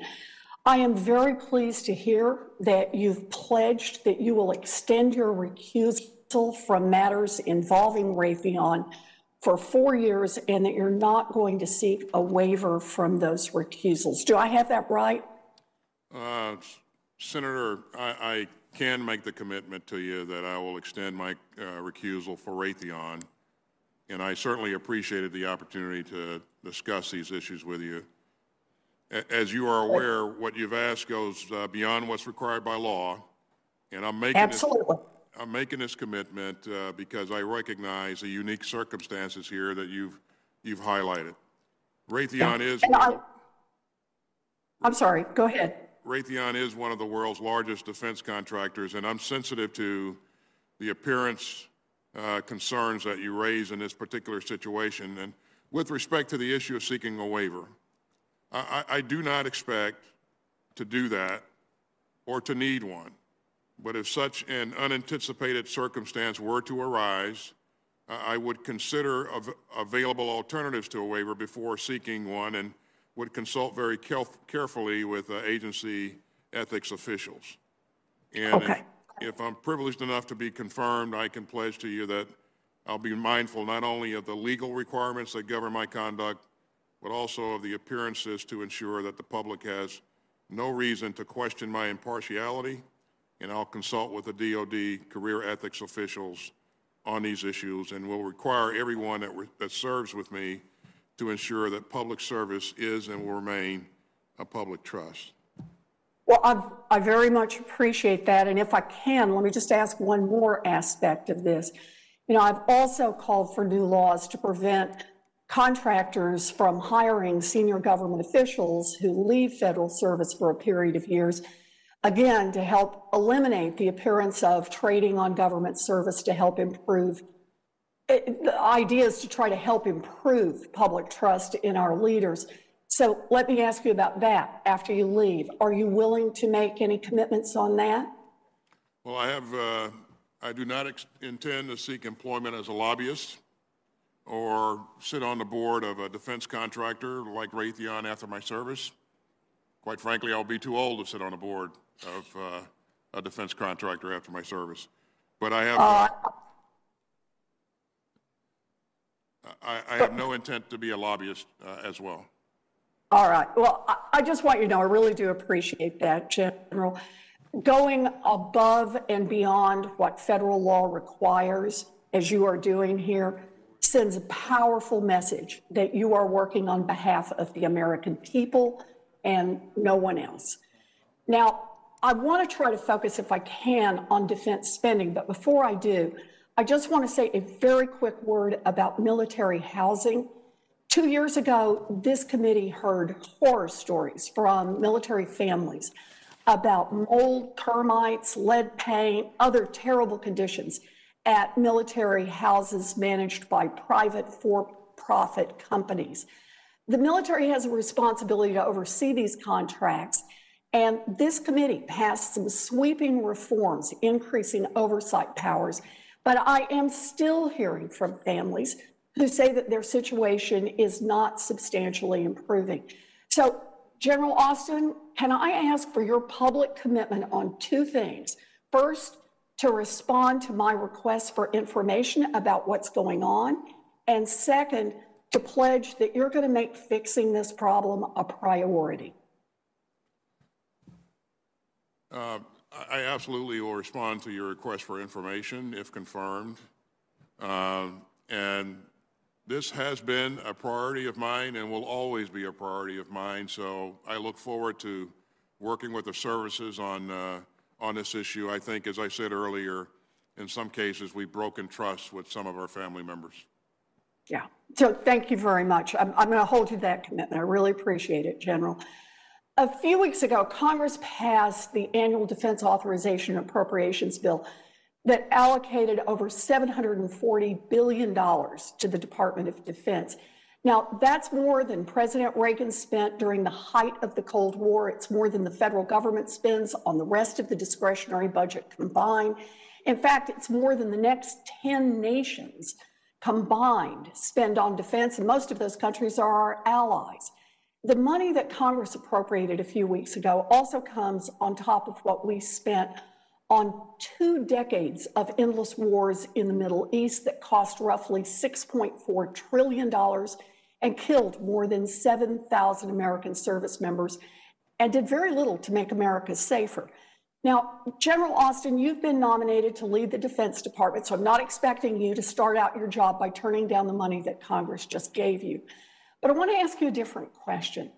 Do you agree that protecting our nation is not just about how much money our nation spends on defense, but also about how we spend it and what specific challenges we focus on? I do. My, my, you know, as, as a Secretary of Defense, uh, job one for me is the defense of this country. And, and we're going to do uh, what it takes to make sure that we're successful at that. As we talked earlier, you know, our strategy, our resources ought to match our strategy, and our strategy ought to match our policy. And, uh, and so, uh, again, I, I think we have a requ- I have a requirement to be good stewards of a good steward of our resources. Uh, but you can count on me always asking for what what uh, what we need to accomplish the strategy that's been laid out for us. Well, I, I appreciate the approach that looks at how we're spending that money and exactly what challenges we're focusing our money on. I see that I'm out of time, so I'm not going to get to ask you about the importance of investing in our diplomatic corps and making sure that we have adequate funding for the State Department in order to help you in the defense of our nation. I promise, though, I'll send you some questions for the record about that. Uh, Thank you easy, very much. Easy answer for me, Senator. I think it's absolutely important that the State Department be resourced adequately. Good. That's what I like to hear. Thank you, General. Thank you, Senator Moran. And now via WebEx, uh, Senator Scott. All right, thanks. Chairman, can you hear me all right? Loud and clear. Okay, thank you, Chairman, for holding this meeting. Uh, first off, I want to thank General Austin for our, all of his hard work. We had the opportunity to work together when he was at CENTCOM. And, uh, you know, I, I, just want to thank the General for his distinguished service as a, a soldier and a commander and just what a great job, job he did uh, in, the in the military. So I'm very, very appreciative. We had, we had the opportunity to talk the other day. And, and so if you could um, talk a little bit about um, how, you know, if you look at the people in the military have just had not spent a whole bunch of time dealing with uh, the risk of communist China and how you'll get up to speed because we don't, we actually don't have um, it's the same experience in dealing with communist China as we do with people in the middle, dealing with the uh, the Middle East. So, General Oscar, can you talk a little bit about how you'll get up to speed and how important you think it is to get up to speed on the risk of communist China? Well, I, I think it's absolutely important. As I outlined uh, in my uh, in my opening statement, Senator Scott, I think China is is uh, our most uh, challenging, um, our most significant challenge uh, going forward, uh, and so you can expect that I'll continue to focus the resources of the department on this issue to make sure that that we're prepared to meet any challenge and that we continue to present a credible deterrent to China or any other um, uh, aggressor who would uh, want to take us on and convince them that that would be a really bad idea. Uh, the issue of China, though, is, is, is very complex, uh, and I fully recognize that, you know, while I have the military component of this, of this problem set, it's a whole of government approach because China looks to compete with us along a spectrum of activities, you know, economic and, and, uh, and IT and cyber and, and space and, and, and other domains. Uh, so, uh, you know, we'll have the right experts, we'll have the right uh, um, capabilities and, and plans and, and operational concepts uh, that are required to make sure that we're uh, effective in our efforts to deter China and any other aggressor. Thank you, General Austin. So, um, you know, you in, in your military career, you did a great job of building teams. Uh, from people I've, I've heard, including Senator Sullivan, you um, you built a great team to, to get the results you wanted, and you're going to have to in this job, in this role, you have to do the exact same thing.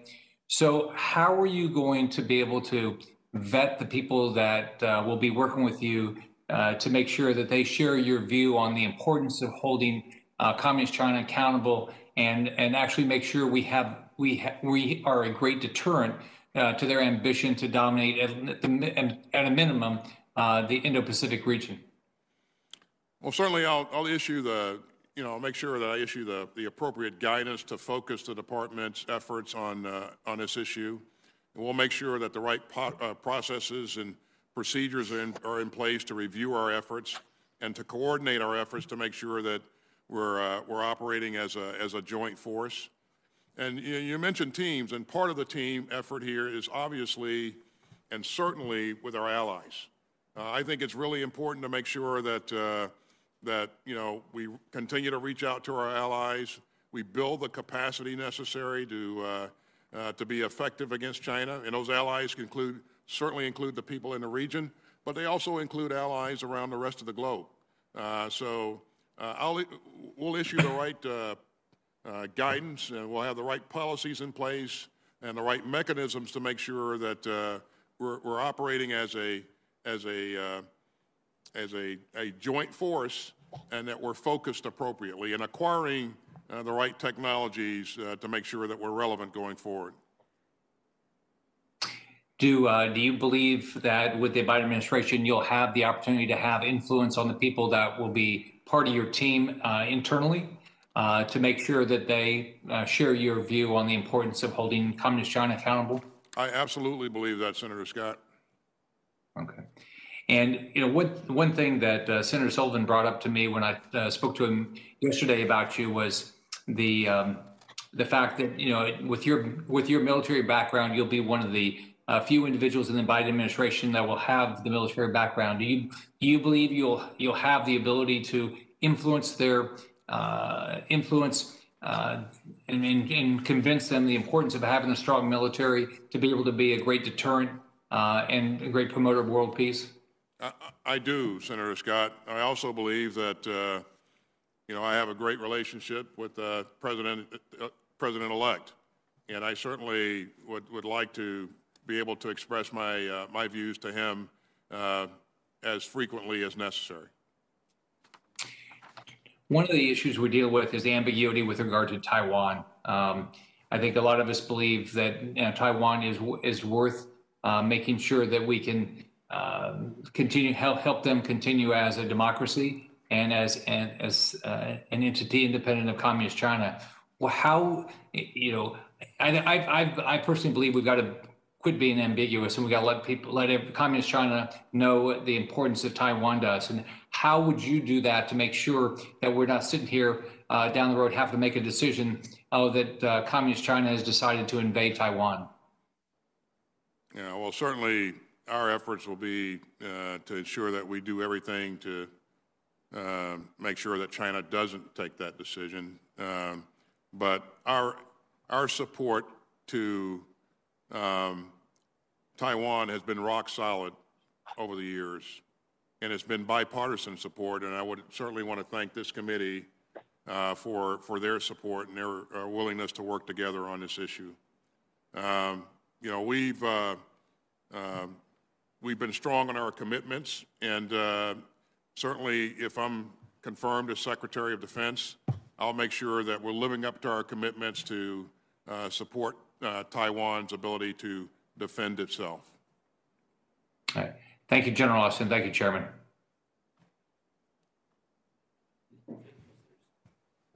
Thank you, Senator Scott. Senator Manchin. Thank you, Mr. Chairman, and uh, thank you, General. Appreciate very much your service, and your family's dedication, commitment to our country. Sir, uh, the seven years, the seven-year cooling off period, you have five years you've been in private, in, in the private sector what do you think could be accomplished in two more years? What are we missing there? I mean, I think that you've you segue pretty well into the private sector and understand the balance there. Well, I, I uh, you know, it's certainly, I'll be two years older, but, uh, but certainly I, I don't think I'll be, I'll have any Any more change. commitment uh, to serving as a civilian than I have now. Just from history, people know that it used to be 10 years, and we changed it uh, to seven years. We should be looking at the quality of the person at the time we need them.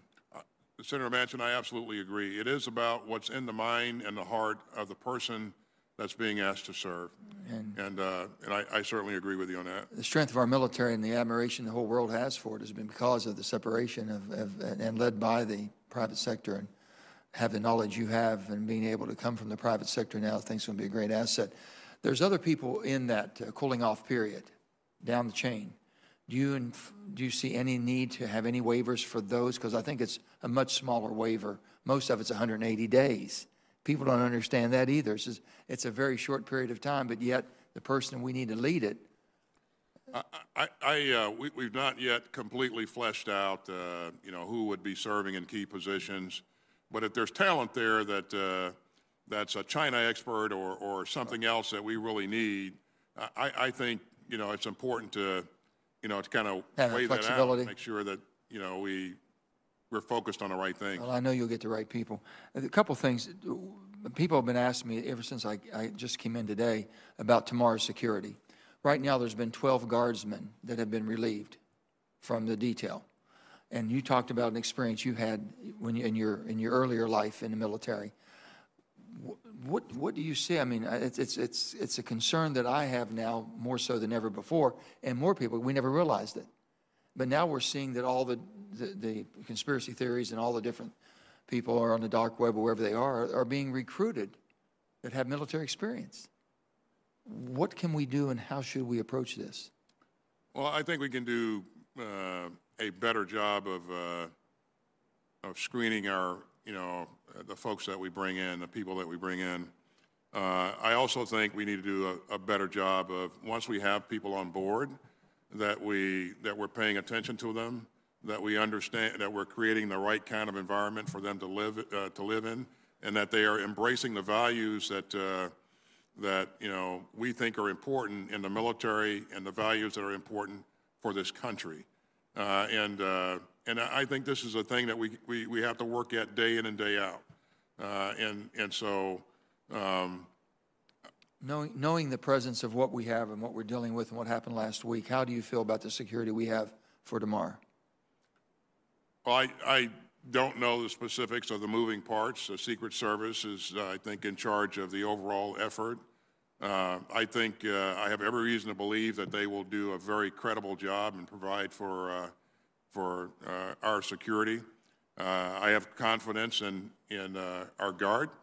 Again, the fact that we are screening people and making sure that we don't have the, you know, the, the wrong kinds of people in the formation, I think is, is a credit to their efforts. Well, you know, the, all the reports, we don't have all the evidence yet, or all the, uh, but we will have that probably during this trial we have coming up, that the, the ball was dropped at the uh, Department of Defense, uh, that we didn't get the support we needed, or the help we needed, or the protection we needed quick enough. Uh, You know, I, I think that's uh, still under review, Yes, Senator. yeah. And, uh, you know. I'm not accusing until we see the facts, but Yeah. that's been the reports coming out. So I know you have a lot of work ahead of you trying to build up that Right. confidence level and the morale. If I can ask you, the greatest threat that we face as a country, wha- if, if you were going to name one of the greatest threats or the greatest challenge you think you're going to have coming in to this position, what would it be? Well, I think there are, there are a number of challenges, as we, as we discussed before. And quite frankly, the, the greatest challenge to our country right now, Senator Manchin, is the pandemic. It's killed, you know, over 400,000 of our American citizens. And, uh, and that's, that's just an incredible, incredible loss of life. Uh, I think we, you know, we have to do everything that we can to break the cycle of transmission and to, and to begin to turn this thing around. I know that the president-elect is, is very, very much focused on this. I think DOD can add, uh, add value to this effort uh, in speed and scale, and, and I, I would certainly hope, you know, again, if I'm confirmed, one of the first things I'll do is take a look at how we're contributing and that there's more that we can do, and I believe that there probably will be, that will lean into this and, and help this effort uh, along. Uh, You know, in terms of um, other challenges. We talked about China, we talked about Russia, we've talked about, uh, Pandemic's number one, oh, you think, from the standpoint? Chi- China is, uh, is the most uh, concerning uh, competitor that, uh, that we're facing. Let me ask you this about finances. John McCain, the late John McCain, my dear friend, and uh, we all knew John pretty well. If you worked with John, you knew John pretty well. He made sure of that. But John and I had a bill that we always worked on auditing the Pentagon, aud- auditing the Department of Defense. It's the only, it was the only agency in all, all of government was never audited. But they've been doing a good job, but there's still a little bit of a lax there. I just would like for your commitment on that, to do everything you can to make sure that the finances, the people know how we're investing their money and what type of return we're getting on that. You have my commitment, Senator. Yeah. And let me just say this, sir, I truly believe with all my heart you're the right person at the right time to do this job because it's a tremendous undertaking. And I think to restore the confidence back to the American people that our Defense Department basically is there to defend us and is basically run by the civilians who basically are not going to make military or let military be used against us at any time. And what we saw last Wednesday was an anomaly that'll never happen again. But I thank you, sir. I look forward to voting for you. I look forward to working with you, Senator, if I'm confirmed. Thank you, Thank you. Thank you, Senator Manchin. And now via WebEx, Senator Blackburn. Thank you, Mr. Chairman. I appreciate this and the opportunity to uh, talk with General Austin. And I will say, General, I enjoyed our conversation yesterday so much. Uh, thank you very much for your time and thank you to your family for sticking with you as you go through this process. I will say, and we discuss this, I'm one of those who is not in, fr- in favor of waivers. I believe that rules are and processes are put in place over time because of specific reasons.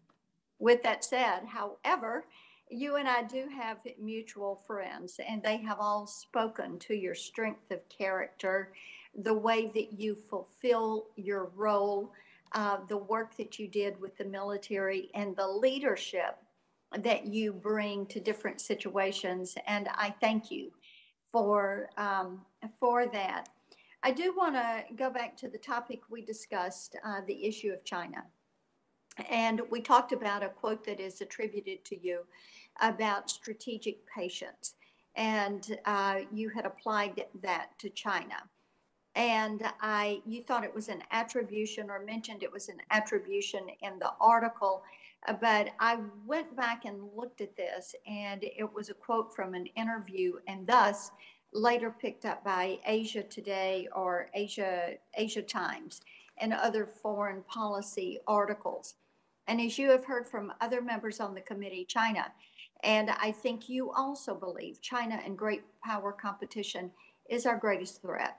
Whether we are looking at what is happening on the economic side, and I appreciate you mentioned that earlier, because we discussed we don't know exactly where MOFCOM ends or where their economic sector ends and their military sector begins.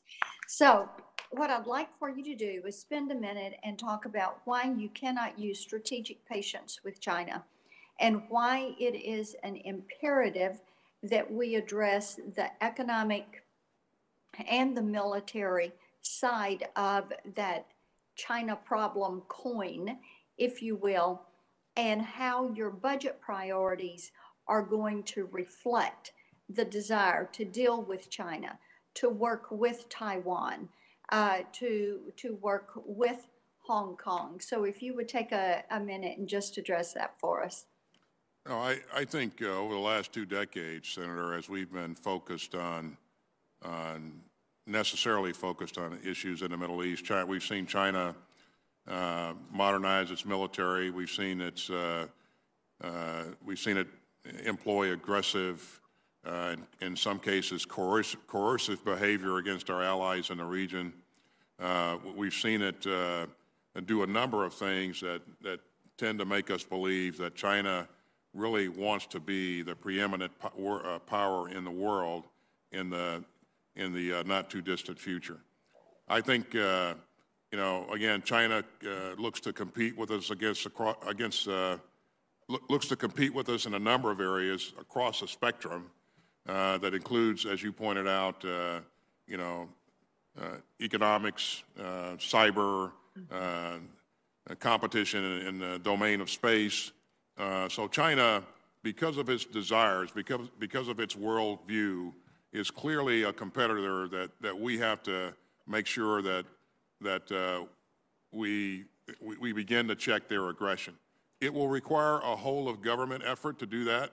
The Department of Defense's uh, piece in this is to make sure that we are presenting a credible deterrent to China so that uh, it will think twice before it, it, decides to take on the United States of America, uh, China, or any other aggressor.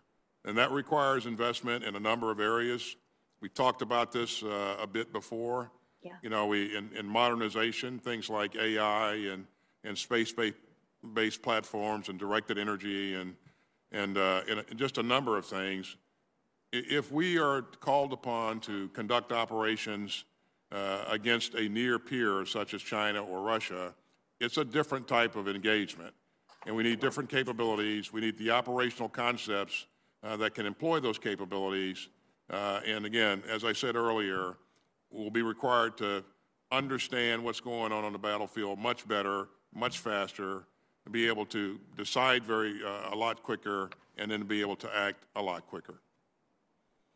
Well, I appreciate that, and I think it's important for the record to reflect that you do not view dealing with China as a strategic patience. Uh, it's a different approach than we had um, with ISIS. Let me move on. We also talked a little bit about workforce and utilization of the Guard as we look at some of the skill sets that are necessary uh, moving into 5G deployment, utilization of artificial intelligence, building out ISR, and some of those areas. So, for the record, make a comment about Guard recruitment, retention, and how you would uh, interface the Guard with the active duty men and women.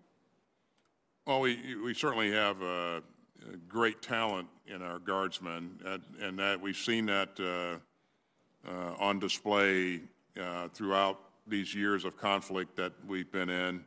Um, our guard has performed uh, very, very well. Many of our guardsmen have, have skills that, that you don't typically find in a normal unit or a normal organization. I, and so I think uh, in, in a lot of cases, we can do a better job of leveraging those skills, uh, those unique skill sets, uh, to, to help our efforts in, in things like IT and, and other things. Well, thank you for that. Uh, we appreciate your service. We appreciate your time today. And Mr. Chairman, thank you uh, for, for the hearing. I yield back. Thank you, Senator Blackburn. Now, via WebEx, Senator Peters. Well, uh, thank you. Uh, thank you, Mr. Uh, Chairman. And uh, General Austin, I want to say uh, thank you. Uh, thank you for your service over many, many years to this country. And thank you for your willingness to take on this job. clearly, we are in an incredibly difficult time in our history, and we've facing significant challenges, and your willingness to serve your country once again is commendable. So thank you. I, uh, I want to uh, pick up uh, briefly on some comments uh, made by my colleague Senator Heinrich, and I think you, although you answered his question, I think it's important for you to know that there are many of us on this uh, committee that are very concerned about uh, PFAS contamination in military sites across the country. Clearly, this is a bigger problem than just military sites. We've got uh, PFAS uh, sites throughout the country. Michigan has been particularly hard hit uh, with uh, sites uh, containing this very toxic uh, chemical. In fact, I think of the 700 sites identified around the country, roughly 200 of them are in Michigan, although we think the reason that number is so high is just because we've been looking for it more than other states. It's likely to continue. But we do have military sites that have been impacted, and, and one in particular in Michigan, which is the former Wurtsmith Air Force Base in Oscoda. Uh, they have, the folks in Oscoda and that area have been dealing with this contamination for many years. Uh, they are, and rightly so, incredibly frustrated uh, by the slowness uh, from the Air Force and others to deal with it. We've started to see some pickup uh, in activity and cleanup, but they have waited uh, too long. And I know you made a commitment to Senator Heinrich to expedite this, but I, I want you to know that this is a major issue for me, for folks uh, in Michigan, folks around Wurtsmith Air Force Base, as well as uh, other military sites across the country. I'm sure many of my other colleagues would join in. And so uh, I, uh, I hope that you are indeed uh, committed uh, to making sure we do right by these communities that have hosted uh, these bases for years and are now suffering uh, the consequences. So um, I don't know if you want to add anything to what uh, your response was to Senator Heinrich, uh, but please know this is a, a serious issue for us across the country. No, I, I am committed, uh, Senator. I think, as I said earlier, the, the health and welfare of our military members, our families, our DOD civilians, and our communities uh, is, is very, very important. And uh, again, uh, Secretary Esper stood up a PFAS task force. I'll, I'll check in with them and make sure that I expedite their work if at all possible. And, and uh, and certainly I look forward to working with my EPA counterpart uh, on this issue. I, I think it's, uh, it's very, very important to mitigate the effects of these contaminants uh, as, as soon as we can. Well, you, you can look for us to stay committed to that. I appreciate that, General. Thank you uh, so much. Uh, uh, you mentioned it in a number of questions about the changing nature of warfare, and we are we're on the cusp of major changes as a result of technology. You alluded to some in the last answer whether it's uh, AI, uh, automation, directed weapons. Uh, we just know that we're in a technological revolution that will change the way we live dramatically. And when that happens, that also changes the, the face of warfare in dramatic ways. Uh, and uh, it's not just the, the complexity of our tools, but as you mentioned, it's uh, the strategic and operational environment as well. And so it's going to require some really some creative thinking outside of normal uh, uh, policies uh, in how we prepare for this, this change. And I think a lot of that requires changing some of the culture, particularly when you just have a large bureaucratic organization like the Department of Defense. No different than any other large bureaucratic organization. It's sometimes difficult to get out of uh, the established mindsets and understand that things are changing rapidly. And so, you know, guidance from the top uh, is incredibly important. And that means, in my mind, and love to have your thoughts, that means placing a premium on uh, digital skills by expanding uh, eligibility for billets uh, in the Joint Artificial uh, Intelligence Center, for example, Defense Innovation Unit, and their service level equivalents both inside as well as outside the department. So, General, if you give me a sense of, of how do you assess the ability, for example, of defense innovation offices to develop systems that are going to be able to enhance both our performance and our effectiveness. And if, if you could, as you're thinking of this and, and answering this question, uh, uh, mention in particular uh, how this will be helpful as we start operating perhaps more be, uh, below the threshold of armed conflict, uh, which may likely be uh, an emerging pattern that we have to deal with more often than we'd like. Yeah, so I, I, think it's really important that we have the ability to develop the, the kinds of uh, capabilities that you just described, Senator.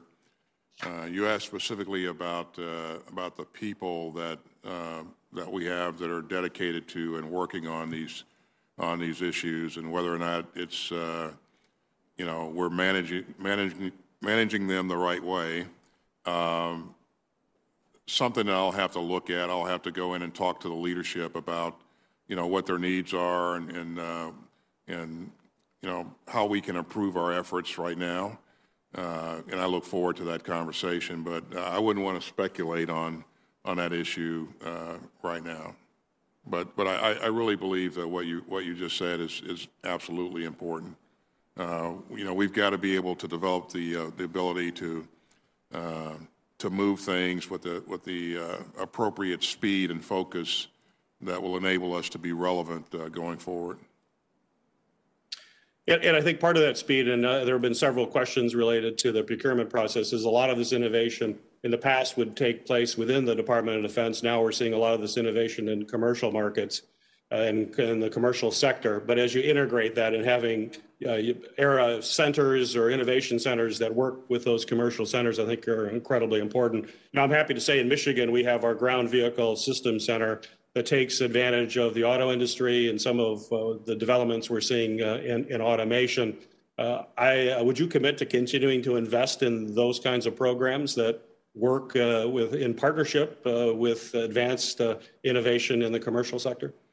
I think automation is really important to us. You've, you've heard a number of leaders talk about that, and I think you know, we're going to, that'll be an area of focus for us going forward. Yeah. Well, I appreciate it, General. Thank you. I yield back. Thank you, Senator Peters. Uh, via WebEx, Senator Hawley. Thank you, Mr. Chairman. Thank you, General, for being here, and congratulations on your nomination. It's always nice to see a uh, graduate of Webster University in St. Louis up before the committee. So, uh, congratulations uh, on that as well. Let me uh, come back to something you said at the very beginning of uh, your testimony during your your uh, your, your statement at the beginning. You said that China is a pacing threat, a pacing threat. I just want to be clear: Are there other pacing threats, and what would they be? Now, China is the most significant uh, uh, competitor that we're focused on. It is the pacing threat. Uh, on that, thank you for that. That's a helpful clarification. On that same uh, point, you're going to have uh, the opportunity here to oversee the next national defense strategy. Uh, you have said, and other committee members have quoted this today. You've talked about the competition, the strategic competition with China and Russia. You've also said today, though, several times, including to me just now, that you think that China is the pacing threat, that China is the top priority. So, can you commit to us that as you oversee the next NDS, that China will be unequivocally identified as, as the top challenge, threat, competitor of the United States? Now, clearly, the, the strategy will be arrayed against the threat, and uh, and China is. Uh, is presents the, the most significant threat going forward because China is ascending. Russia is also a threat, but it's, uh, it's in, in decline. Uh, it can still do uh, a great deal of damage, as, we, as we've seen here uh, in recent days, in, in an area, and, and it's a country that we have to remain, uh, maintain some degree of focus on. But China is the pacing threat. Very good. And you would expect, just to press my point here, but you would you would expect to see that uh, identified uh, China that is identified as as the facing threat in the national in the next national defense strategy. In other words, you don't see any reason why that would not be the case. Is that correct? Uh, that, you know that that follows. That makes sense, Senator Hawley. I think, uh, but again, uh, we I certainly don't want to try to write the strategy here. Uh, we want to make sure we go through the process of, of, of arraying the threats and and identifying what the you know what capabilities we, are going to place against them. But it, it certainly follows uh, it is the pacing uh, issue, the pacing threat uh, currently, and I fully expect that it will remain uh, so going forward.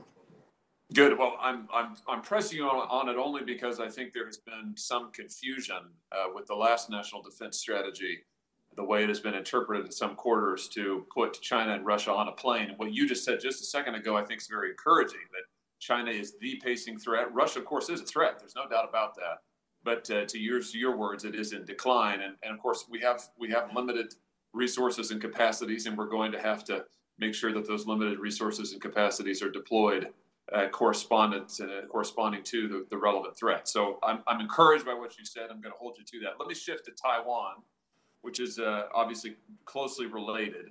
Let me follow up on something Senator Scott asked you about. Under the Taiwan Relations Act, the United States has committed to maintaining the capacity to resist any resort to force or other forms of coercion that would jeopardize the security of the people of Taiwan. Uh, given our obligations under that statute, General, do you agree that DOD should maintain the ability to deter a Chinese fait accompli when it comes to Taiwan? Senator, you, you came in broken on that last piece there. If, if, I, if I could ask you to repeat the, the end of that, please. Yeah, when it comes to Taiwan, General, do you agree that the Department of Defense should clearly prioritize defeating a fait accompli scenario in Taiwan on the part of China, an attempt to invade, exert pressure that would put us in a fait accompli scenario? Should that be our top priority? Well, certainly, you know, I don't want to go down a road of getting into hypotheticals about, uh, you know, what we would do if uh, certain things happen. I would just say that my, my job as a, the uh, Secretary of Defense, uh, if, if confirmed, is to present credible options to uh, the President to ensure that we can protect our interests uh, and, uh, and defend ourselves. And, you know, one of our interests is to make sure that uh, Taiwan, uh, and, a- and a commitment is to make sure that Taiwan has the ability uh, to, to defend itself. Uh, And so we'll stay committed to that going forward. Yeah, I, and I certainly appreciate the fact that you can't anticipate all threats uh, going forward. However, we do have to plan, and to go back to points you've made about husbanding our scarce resources, making sure that we're using them well. We've got to identify the scenarios that we're prioritizing to plan for. And so I just want to say, ask one more time with regard to the fait accompli scenario in Taiwan, uh, which is identified, of course, in the in the current in the 2018 National Defense Strategy. Is that a scenario you think we ought to prioritize uh, in our planning purposes in order to deter China? Uh, Again, you know, we're- we're committed, we've been committed to the support of uh, Taiwan throughout. And, uh, and again, it's been bipartisan support. We, we will remain committed to supporting Taiwan. And, and so we'll, we'll have the right options available to protect our interest and, and to defend ourselves. Let me uh, shift to Afghanistan here briefly, General, in the time I've, I've got remaining.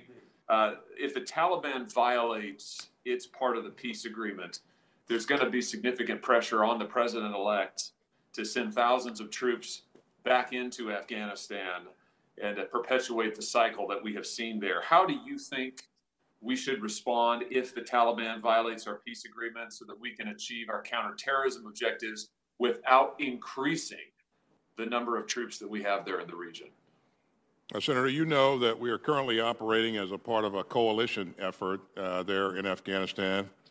And uh, what I've heard General Milley and General Miller say publicly is that they believe they have uh, adequate resources to, to accomplish the objectives uh, that are that they're assigned currently. Uh, and so if I'm confirmed as I go in, I'd like to be able to assess the situation myself and, uh, and then make my uh, recommendations to the president in terms of, you know, what's required uh, and, and what's not required. I see my time's expired. Thank you again, General. Thank you, Mr. Chairman. Thank you, Senator Hawley. And finally, we now have via WebEx, Senator Duckworth. Thank you, Mr. Chairman. I spoke in this committee last week about my concerns with making exceptions to allow any person to serve as Secretary of Defense less than seven years after leaving regular military service. Mr. Austin, you and I spoke about this issue on our recent call as well. I want to reiterate that my concerns are the same now as they were when we considered Secretary Mattis's nomination four years ago. My vote against a waiver that would allow you to serve as Secretary of Defense has everything to do with restoring the bedrock principle of civilian control of the military and nothing to do with you, your qualifications, or your character. Last week, I pledged to my colleagues that if they choose to pass an exception to statute, I will consider your nomination fairly and on its merits. Mr. Austin, I make that same promise to you today. Based on our call last week, in fact, I feel we are aligned in our thoughts on a number of the most urgent national security issues facing our country. I'm pleased to get the chance now to follow up on a few of those challenges that I believe the DoD is facing that concerns me the most. First, I've raised alarms before about President Trump's total disregard for good order and discipline. Over the last four years, he has valorized ruthless killing and pardoned war criminals like convicted former SEAL Eddie Gallagher. He directly undermined leaders like former Naval Special Warfare Commander Admiral Green, who attempted to hold service members accountable when they violated their oaths and failed to uphold good order and discipline. And in some communities, like the SEAL community, we're already struggling with service members drifting from their core values, likely due to the stress of 19 years of war and deployments. President Trump's rhetoric has damaged attempts to restore discipline in our Department of Defense. Now, in the fallout of violent insurrection at the Capitol on January 6th, we're starting to learn the depths of the problem in our military services. Veterans, active duty troops, members of the National Guard have already been found to have participated in an actual attack on elected leaders and our constitutional process in direct violation of their oaths of office.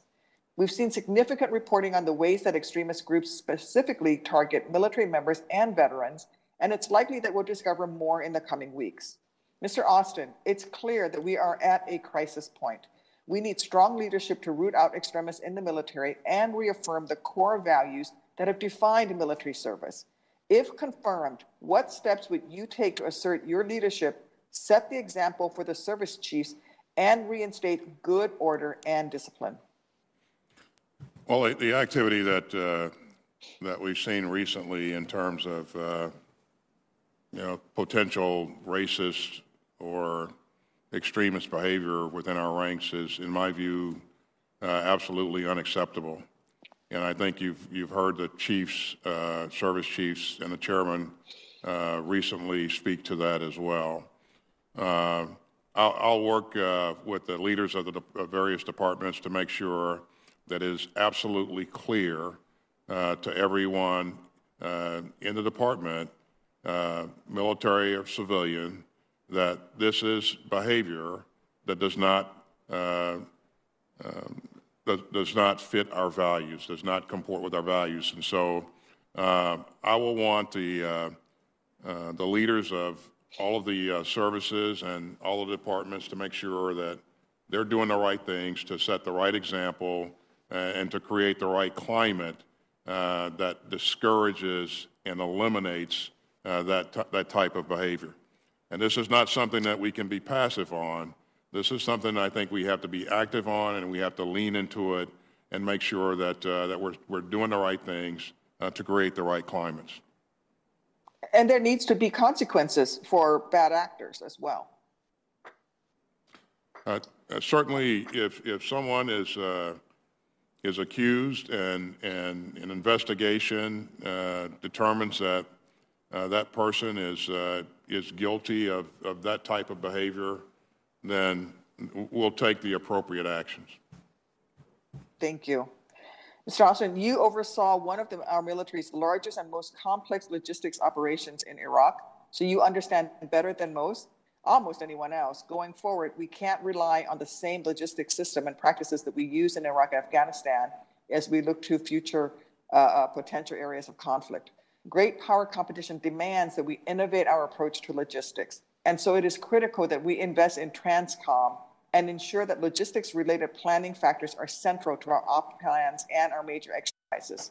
If confirmed, what initiatives will you prioritize to ensure that Transportation Command and the rest of the DoD's logistics enterprise is modernized and resourced to support global operations and to withstand threats from peer competitors, especially when we're talking about in contested environments? No, I, I think, Senator, um, you're absolutely correct. You know, our, our logistics capabilities uh, really enable us to do the great work that we've done around the globe. Um, I, I think uh, we have to continue to invest uh, in the right things. I, I, look forward to having a conversation with, uh, with our senior logistics uh, uh, leaders in, in in all of the branches and, and, and, the, and also in, in the uh, department as well. Uh, and I, I want to invest in those types of things that, uh, that, can, that, that can provide us innovative approaches to uh, delivering the types of logistics that we'll need to sustain ourselves. Uh, I, I, agree with you that uh, we won't be able to do business as we've always done it going forward as we're looking to compete with a near peer competitor. Thank you. The DoD is also well positioned to lead the way on developing the kind of clean energy technology that can accelerate our fight against climate change, one of the biggest national security threats of our time, and reduce the military's reliance on fossil fuel, which would shorten that logistics tail. If confirmed, how would you lead DoD to reduce its emissions and develop the sort of breakthrough energy technology that can make forward deployed troops less reliant on fuel delivery and other energy related sustainment? Well, I think while we're, you know, we are no doubt doing some things on all of our installations now to, uh, to reduce our energy uh, consumption and reduce our, our carbon footprint.